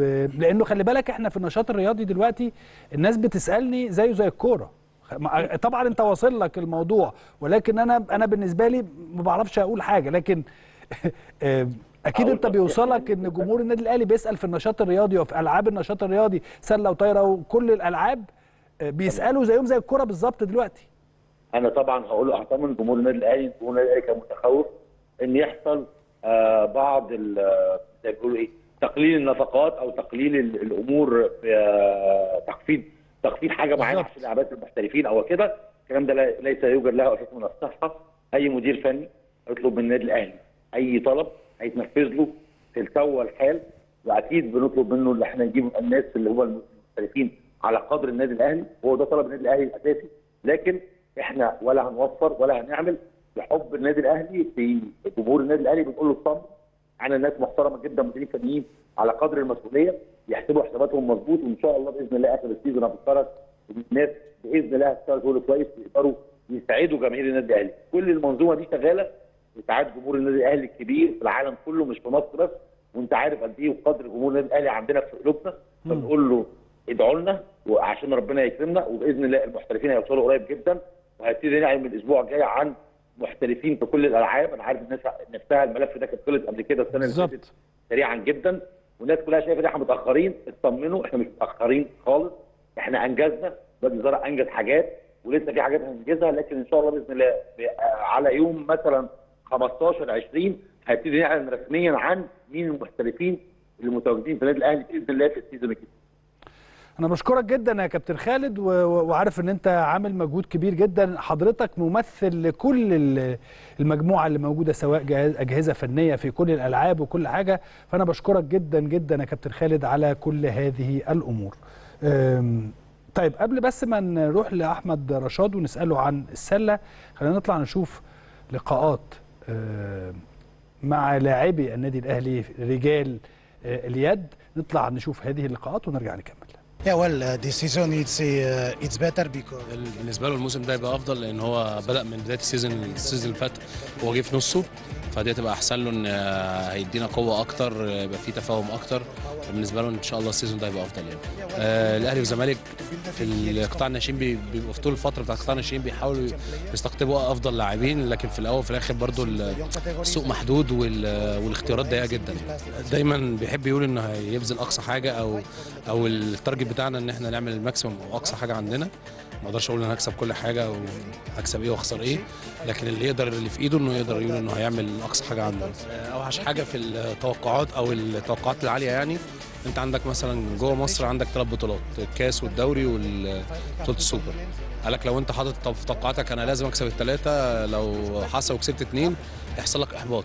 وده في التحليل بتاع اداء الفرق أو كده ده مش مش حاجة صح يعني فالطبيعي آه حاطط في دماغك إن أنت تكسب كل حاجة لكن اللي في دماغك أكتر إن أنت تبذل مجهود في كل حاجة. آه، إحنا عارفين إحنا الأهلي ولازم آه، آه، نحارب على كل بطولة وده اللي إحنا بنعمله جوه الملعب وبره الملعب. To try to bring the, the, the trophies to the club and then we will see. إحنا بادئين بقى لنا ده الأسبوع الثالث شغالين صبح وقت الظهر وفي ال- نعتبر في آخر مرحلة من نص ال pre-season أو فترة الإعداد. إن شاء الله هنسافر يوم السبت معسكر اعداد في سلوفينيا هنلعب فيه ماتش واحد وبعد كده رايحين البوسنه عندنا بطولة قوية جدا فيها برشلونة وكيلسي ومونبلييه ويورو فارم. فرق من الفرق المصنفة عالميا يعني فإن شاء الله يبقى فترة اعداد قوية لينا و... والناس توصل للفورمة بتاعتها في في أقرب وقت يعني إن شاء الله. بنشكر كل اللعيبة اللي كانت معانا السنة اللي فاتت وبنتمنى إن شاء الله اللعيبة اللي دخلت على الفريق السنة دي تكون عند حسن ظن الجمهور والإدارة وال- والفرقة يعني. إن شاء الله كل واحد بيموت نفسه في التمرين والدنيا إن شاء الله ماشية كويس. يعني أتمنى إن بس ربنا يبعد عننا الإصابات والمصابين يرجعوا لنا وإن شاء الله تبقى الدنيا حلوة. يعني إحنا ربنا كرمنا وكسبنا السنة اللي فاتت آه، بطولتين مهمين أو ثلاث بطولات مهمين. آه، عارفين إن إحنا محطوطين تحت ضغط إن إحنا لازم نكسب كل حاجة. لكن زي ما كنا بتكلم مع أو ديفيد كان بيتكلم وإحنا بنتكلم دايما إن آه، الهدف مش إن أنت تكسب الهدف إن أنت تقاتل على كل حاجة والمكسب هيجي بعدين. لكن الأول القتال سواء في التمرين أو بره التمرين في عاداتك اليومية وإن شاء الله المكسب بيجي بعد كده زي إن شاء الله ما حصل السنة اللي فاتت يعني. الفريق ماشي بخطى ثابتة. آه، يعني ماشيين بنظام السنة دي جديد شوية علينا كلنا. بدأنا handball من أول أسبوع من أول يوم. إحنا في الأسبوع الثالث تقريبا دلوقتي. ويعني المدير ديفيد ما مدير الفني مقسمها أسابيع ثلاث أسابيع في القاهرة بعد كده أسبوعين آه، في آه، معسكر خارج مصر. هنلعب آه، ماتش أو ماتشين في سلوفينيا وتمارين كتير بعد كده هنروح البوسنة. هنلعب فيها بطولة قوية جدا فيها برشلونة وفيها يورو فارم وفيها مونبلييه ماتشات جامدة جدا.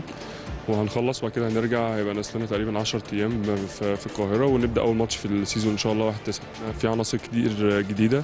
plus ناس كانت مش موجودة ال season اللي فات كانت إصابات زي مثلا فوكس زي لاشين. ف وفي اتنين متصاعدين اللي هم 2002 وفي اتنين أو ثلاثة جداد راضي ونبيل ومجدي. فالفريق يعني تقريبا أقل من نصه بشوية الناس أول مرة تتمرن معانا. بس آه، زي ما قلت لك آه، ال system بتاع الراجل ومن أول يوم بدأنا handball فيعني أكنهم بيتمرنوا معانا بقالهم فترة فما فيش مشكله وإن شاء الله يبقوا إضافة لينا كويسة جدا السنة دي ونكمل على الموسم اللي فات ونحقق بطولات أكتر الموسم اللي فات إن شاء الله. الحمد لله آه، الموسم اللي فات كان موسم الحمد لله مليء بالإنجازات. كان في شوية دروبات كده في الأول بس الحمد لله ربنا كرمنا. قدرنا إن إحنا ناخد الدوري والكاس. وكان الاشتراك في بطولة أفريقيا كانت هنا في النادي وحققنا ميدالية برونزية. وده طبعا يعتبر إنجاز لل- للبنات وإن هم يشدوا حيلهم وربنا وفقنا في اللي جاي إن شاء الله ونعمل أكتر حاجة يعني. آه، بالنسبة للموسم اللي جاي إن شاء الله إحنا طبعا آه، آه، بنستعد لبطولة أفريقيا في الكونغو. يمكن دي يمكن استعداداتها قبل بطولة الدوري. مت- متطلب مننا ان إحنا نشتغل شغل عالي جدا وشغل مجهود طبعا مع كابتن محمد عادل مدير الفني الفريق. وربنا يكرمنا إن شاء الله يعني تبقى فتحة خير بطوله أفريقيا ونعمل زي ما عملنا البطولة اللي فاتت ونكمل المواسم اللي جاية إن شاء الله الدوري والكاس كده. وربنا يكرمنا في اللي جاي كله بإذن الله. آه، بدأنا التدريب بتاعتنا من آه، أول شهر سبعة وقدرنا إن إحنا طبعا في إعداد بدني لحد دلوقتي. بنركز على إعداد البدني بالنسبة للبنات عشان طبعا كان في فترة اللي هي بعد بطوله افريقيا كانوا قاعدين. فمركزين دلوقتي على حتة بدني مع دخول الهاندبول وتظبيط طبعا بعض الحاجات للعيبه لأنه بقى لهم فترة كانوا قاعدين طبعا بعد الدوري. فده اللي هو يمكن آه، مركزين فيه خلال الأربع أسابيع اللي جايين دول. ده الأسبوع الثالث بتاعنا. والأسبوع اللي جاي إن شاء الله برضك نفس الكلام في شغل بدني. فمدخلين البدني مع الهاندبول بحيث يبقى في توازن بين الاثنين مع بعض. اللي يبقى بدني وهاندبول مع البنات ما تنساش الهاندبول وفي نفس الوقت يبقى البدني بتاعهم كويس. ومعانا طبعا بقول لكابتن عادل كابتن حسام طبعا مخطط الأحمال وطبعا الجهاز الطبي قايمين على واجب كويس جدا يعني. الموسم اللي فات كان صعب جدا إحنا تعبنا جدا واتمرنا كتير قوي بس الحمد لله ربنا كرمنا بطولة الكاس والدوري. وبطولة أفريقيا برضو كنا بنعمل معسكرات كتير داخلية وكنا بنتمرن كتير جدا. والحمد لله ربنا كرمنا مركز ثالث كان نفسنا ناخد البطولة كانت على أرضنا وكان نفسنا إن إحنا نلعب final بس ربنا يعني ما ارادش كده. بس الحمد لله خدنا ثالث إن شاء الله الموسم ده عندنا أفريقيا إن شاء الله 26 9 إحنا حلمنا إن إحنا إن شاء الله نلعب final فيها بإذن الله. و- وبرضه نفضل برضه أبطال الدوري وأبطال الكأس. آه، إن شاء الله يعني محلي يعني. إحنا استعداداتنا السنة دي أقوى بكتير من الموسم اللي فات لأن إحنا السنة دي بادئين بأفريقيا في شهر تسعة الدوري لسه في شهر عشرة فإحنا يعني بنتمرن جامد جدا عشان خاطر إحنا نبدا بأفريقيا فبطولة قوية جدا يعني. هو ده دلوقتي هدفنا يعني أفريقيا اللي في شهر تسعة. وبعد كده بإذن الله بقى نفكر بقى في الدوري والكاس. طبعا صعوبة الم- السيزون اللي فات إن إحنا كنا خارجين من خسارة. فكان عندنا طبعا آه، تحدي إن إحنا لازم نرجع ناخد البطولات كلها. فالحمد لله خدنا الثنائية المحلية. و- وكان عندنا بقى بعديها برضو شوية طموحنا عالي إن هو لأ أفريقيا دي يعني عايزين نعمل حاجة ما اتعملتش قبل كده. والحمد لله برضو إن إحنا آه، خدنا تالت أفريقيا على أرضنا ودي كانت أول مرة في التاريخ. فدي حاجة كلنا بنفتخر بيها ومبسوطين بيها. فهي تقريبا كانت أحسن ختام يعني السنة اللي فاتت الحمد لله. يعني. إحنا بادئين بداية قوية جدا. تمارين فعلا كلها يعني تمارين يعني إحنا بادئين هاندبول بدري وبادئين fitness بشكل قوي قوي يعني حتى يعني مش زي كل season اللي هو إحنا بنبتدي براحتنا الدنيا بتريح مش عارفة إيه لأ إحنا واخدين كل يعني التمرين كهاندبول قوي fitness قوي الحمد لله إعداد يعني إن شاء الله يعني يقومنا على يعني يوقفنا على رجلينا فنعمل إن شاء الله في أفريقيا أداء كويس يعني. رشاد برضو عايزين نسأل عن الطايرة. الناس بتعتقد إن إحنا ما كسبناش حاجة في الطايرة برضو. لا طبعا النادي الأهلي في كرة الطايرة آه، خليني بس أقول لحضرتك رجال وسيدات. رجال وسيدات. إحنا آه، في السيدات النادي الأهلي حقق بطولة السوبر المصري وبطولة الدوري بطولة كانت صعبة والنادي الأهلي قدر إن هو يحققها. في الطايرة رجال حققنا السوبر المصري والبطولة العربية. فبالنسبة للنادي الأهلي كان موسم برضو موسم كويس جدا في كرة الطايرة قدر إن هو يحقق فيه أربع بطولات. آه، لكن خليني أقول لك على حاجة مهمة كابتن. إسلام يمكن في اهتمام خاص من إدارة النشاط الرياضي ومجلس إدارة النادي الأهلي آه، هذا الموسم بالكرة الطائرة.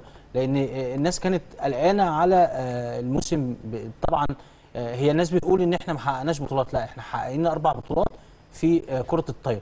الموسم الجديد تم تدعيمه طبعا بأسباني في كرة الطايرة رجال والكابتن إبراهيم فخر الدين زي ما الكابتن خالد العوضي قال. ففي شغل واضح في اهتمام خاص بالكرة الطايرة وإن شاء الله هنشوف موسم استثنائي في كرة الطايرة الموسم اللي جاي في النادي الأهلي إن شاء الله. ده بالنسبة لكرة الطايرة. إحنا طبعا عايزين برضو إيه آه، نتكلم على آه، كرة السلة لأن اتكلم في اللي أنت عايزه يا ربنا يخليك يا كابتن إسلام. آه، كرة السلة أنا بالنسبة لي يعتبر القطاع الأنجح بعد كرة اليد هذا الموسم. يعني النادي الأهلي محقق خمس بطولات على مستوى السيدات ومحقق أربع بطولات على مستوى الرجال. النادي الأهلي طبعا داعم. وأنت بتتكلم طبعا يعني آه. ده طبعا بطولة الطايرة. ده لقطة مهمة جدا نهائي لل- الدوري آه، بطولة طبعا مهمة بطولة كانت صعبة. كان عندنا إصابات كتيرة جدا. يا كابتن آه، آه، يعني قبل الماتش ده والحمد لله قدروا لاعبات النادي الأهلي إن هم ينهوا المباراة الفيصل وإن هم يحققوا البطولة. بصراحة يعني موسم كبير جدا للفريق. هم خسروا آه الكاس لكن كانوا قريبين بصراحة. وإن شاء الله نتمنى منهم موسم كبير في الفترة اللي جاية. خلاص النادي الأهلي آه، موجود معانا آه، كابتن إبراهيم فخر الدين مدرب كبير مدرب على بنات. أعلى آه. مستوى إن شاء الله يقدر يحقق. طبعا في لسه يعتبر القوام الرئيسي لفريق الطايرة سيدات ما اكتملش لأن طبعا حضرتك عارف يا كابتن إسلام إن النادي الأهلي داعم كبير للمنتخبات. طبعا. في طبعا لعيبة موجودة في المنتخب. زي ما طبعا قلت لحضرتك كرة السلة النادي الأهلي على مستوى السيدات محقق خمس بطولات. وعلى مستوى الرجال محقق أربع بطولات محقق بطولة البال آه، بنظامها الجديد ده في السلة ده في أوكي. السله آه. وبرضو آه، خليني أقول لك إن اللعيبة آه، في كرة السلة عندنا في السيدات موجودين مع المنتخب أربعة وموجودين ستة مع آه، الرجال في المنتخب فخليني أقول لك إن برضو زي ما أنا بتكلم إن النادي الأهلي داعم كبير للمنتخبات يمكن الفترة اللي جاية هنشوف آه، يعني شغل واضح من النشاط الرياضي في كل الألعاب بإذن الله والنادي الأهلي يقدر يفضل آه، على نفس المستوى زي الموسم اللي فات لأن خلي بالك يا كابتن جمهور النادي الأهلي مش هيرضى غير بالبطولات ال- طبعا لأن طبعا. إحنا محققين موسم استثنائي فمش هيرضى غير بموسم استثنائي الموسم اللي جاي إن شاء الله طيب آه كريم آه عايزين بقى ناخد ال ال الناس شوية للسنة الجاية السنة نعم. الجديدة إحنا عندنا آه لسه أرقام أحمد هيتكلم عنها وكل حاجة ولكن السنة القادمة وكيف تنظر للسنة القادمة طبعا إحنا أكيد هنا في البيت الكبير مع حضرتك فتحنا آه، ملف الموسم الجديد ويعني ما يشبه أعطينا جرس الإنذار فيما يخص عدد 150 يوم ولا 154 يوم آه دول. المتاحين لإقامة الموسم الجديد وأكيد خلاص يعني الموضوع حسب كل المعلومات اللي جاية من أو الأخبار اللي جاية من اتحاد الكورة هم في أزمة هم مش عارفين الأجندة عارفين يعملوا آه إيه. طبعا ما اصل حلها لو إحنا لعبنا الدوري بنظام الدورين يبقى إحنا هن- هنوصل ل- في وجهة نظري نهاية سبتمبر صعب جدا إن أنت تخلص الدوري قبل سبتمبر القادم بالأجندة الحالية. النادي الأهلي نفسه ربما إحنا قلنا السنة دي لعبنا ما يقرب من 70 مباراة السنة الجاية إحنا مرشحين إن إحنا نلعب ما يزيد عن 70 مباراة مع طبعا دخول دلوقتي كمان تأكيدات خلاص إن الدوري السوبر الأفريقي من يوم 22 أكتوبر ليوم 11 11 نوفمبر نوفمبر. بنظام الذهاب والإياب. بداية من دور الثمانية والصورة 8 ماتشات دي ولا نعم؟ دول 8 آه ست ماتشات. يعني إذا إن شاء الله بإذن الله النادي الأهلي آه، يوصل وصل لل final يبقى. هيلعب ست مباريات. حتى كنا نظن المباراة النهائية ربما تقام من مباراة لا، واحدة. جاية. قال لك لا ذهاب وإياب. وكمان خلي بالكم الفرق الثمانية كلهم ممنوع يلعبوا. أي بطولة محلية. ممنوع. يعني ب 22 أكتوبر. أنت بتقول لي أنا؟ الكلام ده؟ لا هو خلاص هو ما تقوليش أنا الكلام ده يا حبيبي. بص للكاميرا كده وقول لي اللي بعد ما نلاقي يشجع النادي الأهلي اللي هيطلع يقول لك إيه. هو الأهلي على رأسه ريشة؟ هو أنتوا هتأجلوا للنادي الأهلي؟ هو أنتوا مش عارف إيه للنادي الأهلي؟ ما تطلعش تقول لي أنا. الاتحاد الأفريقي اتخذ قرار الاتحاد الأفريقي؟ آه اتخذ قرار مش اسلام يعني آه مش قناة الأهلي. لا لا خالص طيب. الحمد لله. طب متأكد؟ ماشي. عشان بس إيه إحنا والنبي سجل لنا الجزء ده يا سمير عشان لما الناس تيجي تتكلم بعد أو في شهر كام الكلام ده إحنا بنقول؟ 22 أكتوبر ل 11 نوفمبر هيطلع يقول لك اشمعنى؟ مهمة. 22 اكتوبر ده ميعاد ماتش يعني النادي الأهلي أكيد مش هيطلع من بيتهم آه، يروح ي- يلعب الماتش آه. أكيد قبل المباراة دي هيطلع. أربع ماتشات، تلات أيام. أيام فنقول مثلا مثلا يعني النادي الأهلي خارج 17. الأجندة المصرية من يوم 17 أكتوبر لغاية 11 نوفمبر ممنوع يشارك في أي ممنوع مباراة. كمل يا كريم آه الكلام ممنوع ممنوع بقرار من, من. الاتحاد الأفريقي آه، ممنوع مش من اسلام مش من الأهلي مش من كابتن خطيب يعني مالناش آه، دعوة والله. مالناش دعوة فممنوع طبعا الأهلي يشارك في أي بطولة محلية وطبعا بعد 11 نوفمبر هيبقى في مساحة فقط حوالي ثلاث أسابيع إنك تشارك النادي الأهلي في بعض المباريات لأنه بعد نهاية نوفمبر لا استنى بس منتخب إيه؟ آه لسه في كأس عالم كأس العالم. عالم آه. للأندية في السعودية. فبالتالي طبعا. أجندة صعبة جدا. أنا مشفق بصراحة على الحاج عامر حسين بس أعتقد إن لازم نوجد حلول بديلة. لازم نفكر خارج الصندوق زي تونس لما مثلا عملوا موضوع الدور الواحد بعد كده عملوا بطولة النخبة من ست فرق. لازم لازم يكون في حل بديل. إنما إذا استقريت على دوري ذهاب وإياب و34 مباراة بأكد لك تحمل تبعاته بقى. آه هتكمل آه، آه، يا أستاذ ناجي لغاية في وجهة نظري نهاية سبتمبر،. آه. نهاية سبتمبر مش تقدر إنك تخلص الدوري كده كام بقى سنة سنة آه. هنرجع نلعب تاني. الدوري اللي هو السنة الميلادية الكاملة. فكرة بقى إن أنت تقنع الناس هنخلص في مايو و- ويونيو والكلام اللي بيتقال ده ده اقرب الكلام اللطيف. الحلو اللي إحنا مستحيل. مستحيل. أرقام أخرى عندك يا أحمد. عايز أتكلم الأول بس على البطولة اللي هي بتاعت الطايرة ديت. أنت قول اللي أنت عايزه. كابتن أنت أحمد رشاد النهارده. حبيبي يا كابتن. أنا مش البطولة بتاعت الطايرة أنا اللي هسال كريم وناجي. اللي كان لسه أستاذ سمير عارضها اللي هي بطولة الطايرة دي كانت واحدة من أحلى و... وأمتع البطولات للنادي. الأهلي السنة دي. كانت حقيقي. بطولة مهمة جدا أكتر من مجرد بطولة لأن هي كانت بتدل على معاني كتير. مش مش مجرد إن النادي الأهلي اخذ دوري طايرة سيدات ما هو عنده مليون منها مش في لكن فكرة إن أنت بترد على بتدي رسالة إن النادي الأهلي. نادي القيم والمبادئ والنادي اللي هو دايما رسالة لكل من باع النادي الأهلي.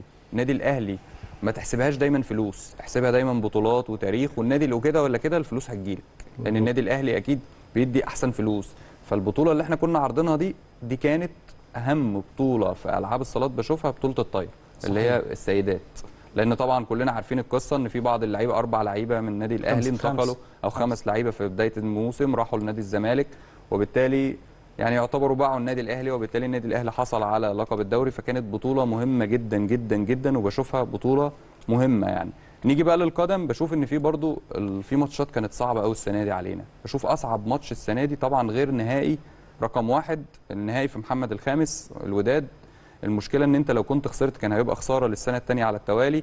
آه، برضو أنت الوداد هيبقى أخد ثلاث بطولات منهم اثنين من يعني الثلاثه على حساب النادي الأهلي.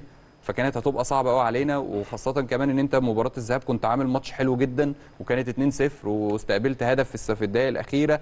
فكان الماتش يعني ده يعتبر كان أصعب ماتش خاصة كمان مع الجماهير والأجواء الموجودة هناك والخوف من التحكيم وإن هم كمان جابوا جون وإن إحنا قدرنا إن إحنا نسجل جون من برأسية محمد عبد المنعم اللي هي يعتبر أحلى هدف السنة دي أو أهم هدف السنة دي هدف رأسية محمد عبد المنعم. فكانت بطولة دوري الماتش النهائي ده كان يعتبر أصعب ماتش للنادي الأهلي. تاني أصعب ماتش بشوفه ماتش الهلال السوداني اللي هو كان الفيصل إن أنت دايما بتاخد دوري أبطال أفريقيا على مراحل. فماتش الهلال السوداني ده كان في نهاية المرحلة اللي انت لو ما كسبتش مش هتصعد أصلا. انت لو ما كسبتش وكان لازم تكسب بمناسبة 2-0 الهلال السوداني أحب أحيي الكابتن أطهر الطاهر الحقيقة على طبعا. اضاع ركله معانا ضربة الجزاء. نعرضها معانا صورة. ضربة الجزاء. مشي. آه مشي من النادي الأهلي. صورة ماشي. السنة اللي فاتت السنة اللي فاتت مش آه، ضربة جزاء قطر الطاهر دي تعتبر آه، نقطة تحول برضو في الموسم. طبعا. نقطة تحول كبيرة جدا جدا. يعني دي تعتبر نقطة التحول الرئيسيه في موسم النادي الأهلي. كذلك برضو انت النهارده مع كولر بتكسب نادي الزمالك ثلاث ماتشات. اهي ضربة الجزاء بتاعت قطر دي كانت تعتبر نقطة التحول في الموسم.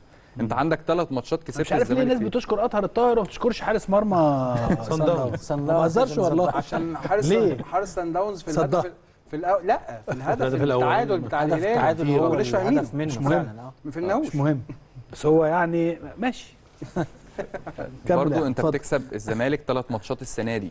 في مواجهات مباشرة. الأول في بداية في السوبر 2-0 بعد كده الدوري في يناير 3-0 بعد كده 4-1 في الماتش الأخير بتكسب 2 و3 و4 ده خلي بالك كمان في الناشئين يعني مع في الناشئين انت كسبت كل حاجة. في الناشئين. آه يعني في كل المواجهات تقريبا خسرت ماتشين بس في من كل المواجهات.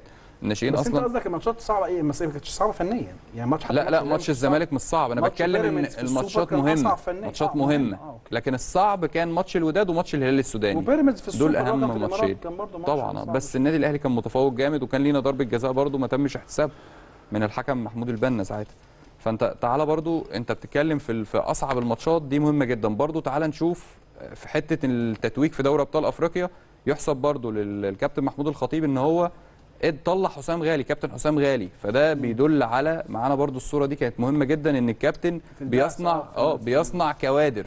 إن أنت إزاي بتصنع كوادر؟ إن هو النهارده بيبقى في رئيس بعثه مسافر رئيس البعثة هو اللي بي بي بيطلع وبيستلم الميداليات وبيرفع الكاس. فدي حاجة برضو حصلت في بداية السنة مع مه- مهند مجدي اللي هو دكتور مهند مجدي عضو مجلس الإدارة وقدر إن هو برضو يطلع لأن هو كان رئيس البعثة. فدي حاجة بتدل دايما النادي الأهلي هو نادي المبادئ والقيم دايما. طيب آم، ميار شريف برضو يا ناجي آم، لاعبة النادي الأهلي قدرت ان هي تعمل إنجاز كبير الحقيقة باحتلالها ال- المركز ال 31 على العالم في التصنيف العالمي. شايف الإنجاز ده إزاي؟ آه، إنجاز كبير جدا يا كابتن. هو آه، أهم رقم بالنسبة لأي لاعب تنس آه، مصري آه، إن هي تحقق قدرت إنها تحقق وتوصل للمرتبه رقم 31 على العالم قدرت إنها تكسر الرقم القياسي اللي كان موجود باسم آه، كابتن آه، آه، الشافعي آه، اللي هو رئيس الاتحاد الحالي كان إنجاز كبير جدا إنها تقدر ميار حطت أحلام وطموحات الناس بالنسبة للتنس خصوصا إن التنس لعبة صعبة يا كابتن مش تفاصيلها مش سهلة الأمور فيها محتاجة بدني قوي جدا محتاجة إنك تكون منتال عقليه إنك قادر إنك تقدر تكسب مصنفين أعلى منك وما. عندكش مشكلة إنك لازم تحتك بره آه، معسكراتك كلها بره ما ده حقيقي هي وعلى ما فكرة بنشوفهاش صحيح هنا. لا وميار كمان من ضمن الناس اللي عندها بت- بتعرف تقيم هي موقفها فين دلوقتي. يعني كان اوريدي كان عندها مشاكل في المباريات ال- الكبيرة كبيرة ال- الوقت. لما توصل بعد ثلاث ساعات لعب خلاص البدني عندها بيبدأ يكيرف ويبدأ ينزل. فبدأت خدت خطوة وخطوة سريعة انها غيرت الم- ال- المدرب الأحمال بتاعها. وجابت مدرب أحمال أسباني عمل طفرة كبيرة جدا معاها قدرت إنها توصل ميار خلال السنة دي قدرت إنها تكسب ثلاث بطولات كبار على مستوى العالم وصلت إنها توصل تلعب ويمبلدون لأول مرة في التاريخ. خلي بال حضرتك يا كابتن إحنا لو هنتكلم على ميار هي صاحبة باكوره ال- الأعمال أو هي صاحبة السبق في كل لما نيجي نتكلم على أي لعبة أو أي بطولة ليها علاقة بالتنس ميار شريف صاحبة ال- السبق فيه. أول لاعبه مصرية تتأهل لبطولة من ضمن بطولات ال Grand Slam. أول لعيبة مصرية تفوز بمباراه جوه بطولات ال Grand Slam. أول لعيبة مصرية تتأهل الاولمبياد أول لعيبة مصرية تخش قائمة ال ال 100 أفضل 100 لاعب على مستوى العالم. دلوقتي بقت إنها تكون أول لعيبة أو لاعب لاعب أو لعيبة توصل للتصنيف رقم 31 على مستوى العالم. هي already بكرة عندها مباراة قوية جدا في افتتاح بطولة هامبورج عندها ماتش قوي جدا كنا لسه بنتكلم عليه يعني إنها هتلاعب بطلة ويمبلدون. ما هت... القرعة وصلتها إنها تلعب مع بطلة ويمبلدون. ولكن ميار آه، عملت آه، خلال ال season ده مباراة قوية جدا يعني وصلت لثلاث ساعات وثلاث ساعات ونص وكانت فيها ند بند وكانت قادرة إنها تفوز. فأنا شايف إن ميار شريف واحدة من ضمن ال- الأسماء الرنانة اللي بعيدا عن آه، ألعاب الصالات أو الألعاب الكبيرة اللي واخدة شعبية. إحنا زي ما قلت لحضرتك إحنا هنتكلم على الألعاب الثانية بعيدا عن كرة القدم أو بعيدا عن الألعاب الجماعية. لا إحنا محتاجين نماذج كتير جدا. عندنا لعيبة كتير جدا موجودين في الألعاب ال- آه، الألعاب بعيدا عن ألعاب الصالات في النادي الأهلي. كلهم لعيبة موجودة على مستوى العالم ليهم rank على مستوى العالم. عمر العربي في الجمباز مصطفى عسل في الاسكواش هنا جودة ودينا مشرف وعمر عصر في تنس الطاولة. صحيح. فأسماء كبيرة جدا ما بقوش آه، موجودين آه، كاسم حتى أو أو حد بيصنع حدث على مستوى العالم بس. لا ده بقى هم رقم في المعادلة بالنسبة للبطولات العالمية. أهم تحديات الموسم اللي جاي؟ آه كل البطولات اللي الأهلي هيخشها الموسم الجاي هيكون تحدي قوي جدا وصعب لأنه زي ما كان رشاد بيقول لحضرتك الكابتن جمهور الأهلي بيبص على البطولة اللي وقعت مش على البطولة اللي خدها الموسم اللي جاي بقى شايفه إزاي يا رشاد؟ أنا شايف كل الألعاب دي بقى. كل الألعاب يا كابتن أنا شايف هيبقى موسم صعب جدا خاصة إن آه، الأندية كلها دعمت صفوفها في آه، دعم كبير في كل الأندية من كل ال...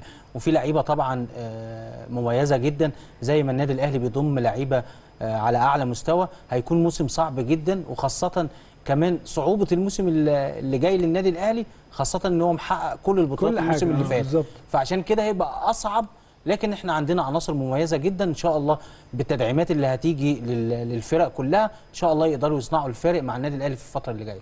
أخيرا آه، آه، كريم آه، هسالكوا سؤال الحلقة أصعب بطولة بالنسبة لك؟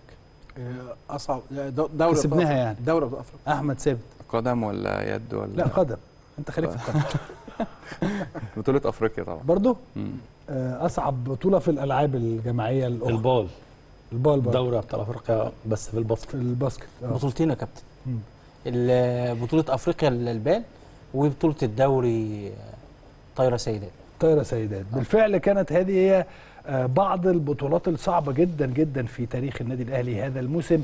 هذا الموسم التاريخي الذي يستحق الحقيقة أن إن إحنا كنا نلقي عليه الضوء لأنه على قد ما بنقدر وبسرعة جدا الحقيقة ده الساعة ونص دول يعني على أسرع حاجة ممكنة يعني نقدر نوري لحضراتكم قد إيه إن كان هناك عمل كبير وجاد من مجلس إدارة بيحترم عقلية جمعيته العمومية وبيحترم عقلية ج- جمهور. وبالتالي استطاع أن ينظم بعض الأمور الخاصة في آه، النشاط الرياضي استطاع أن ين- ينظم بعض الأمور الخاصة في كرة القدم زي ما سمعتوا. من ثابت وكريم. وفي النهاية استطعنا أن نصل إلى كم هذه البطولات.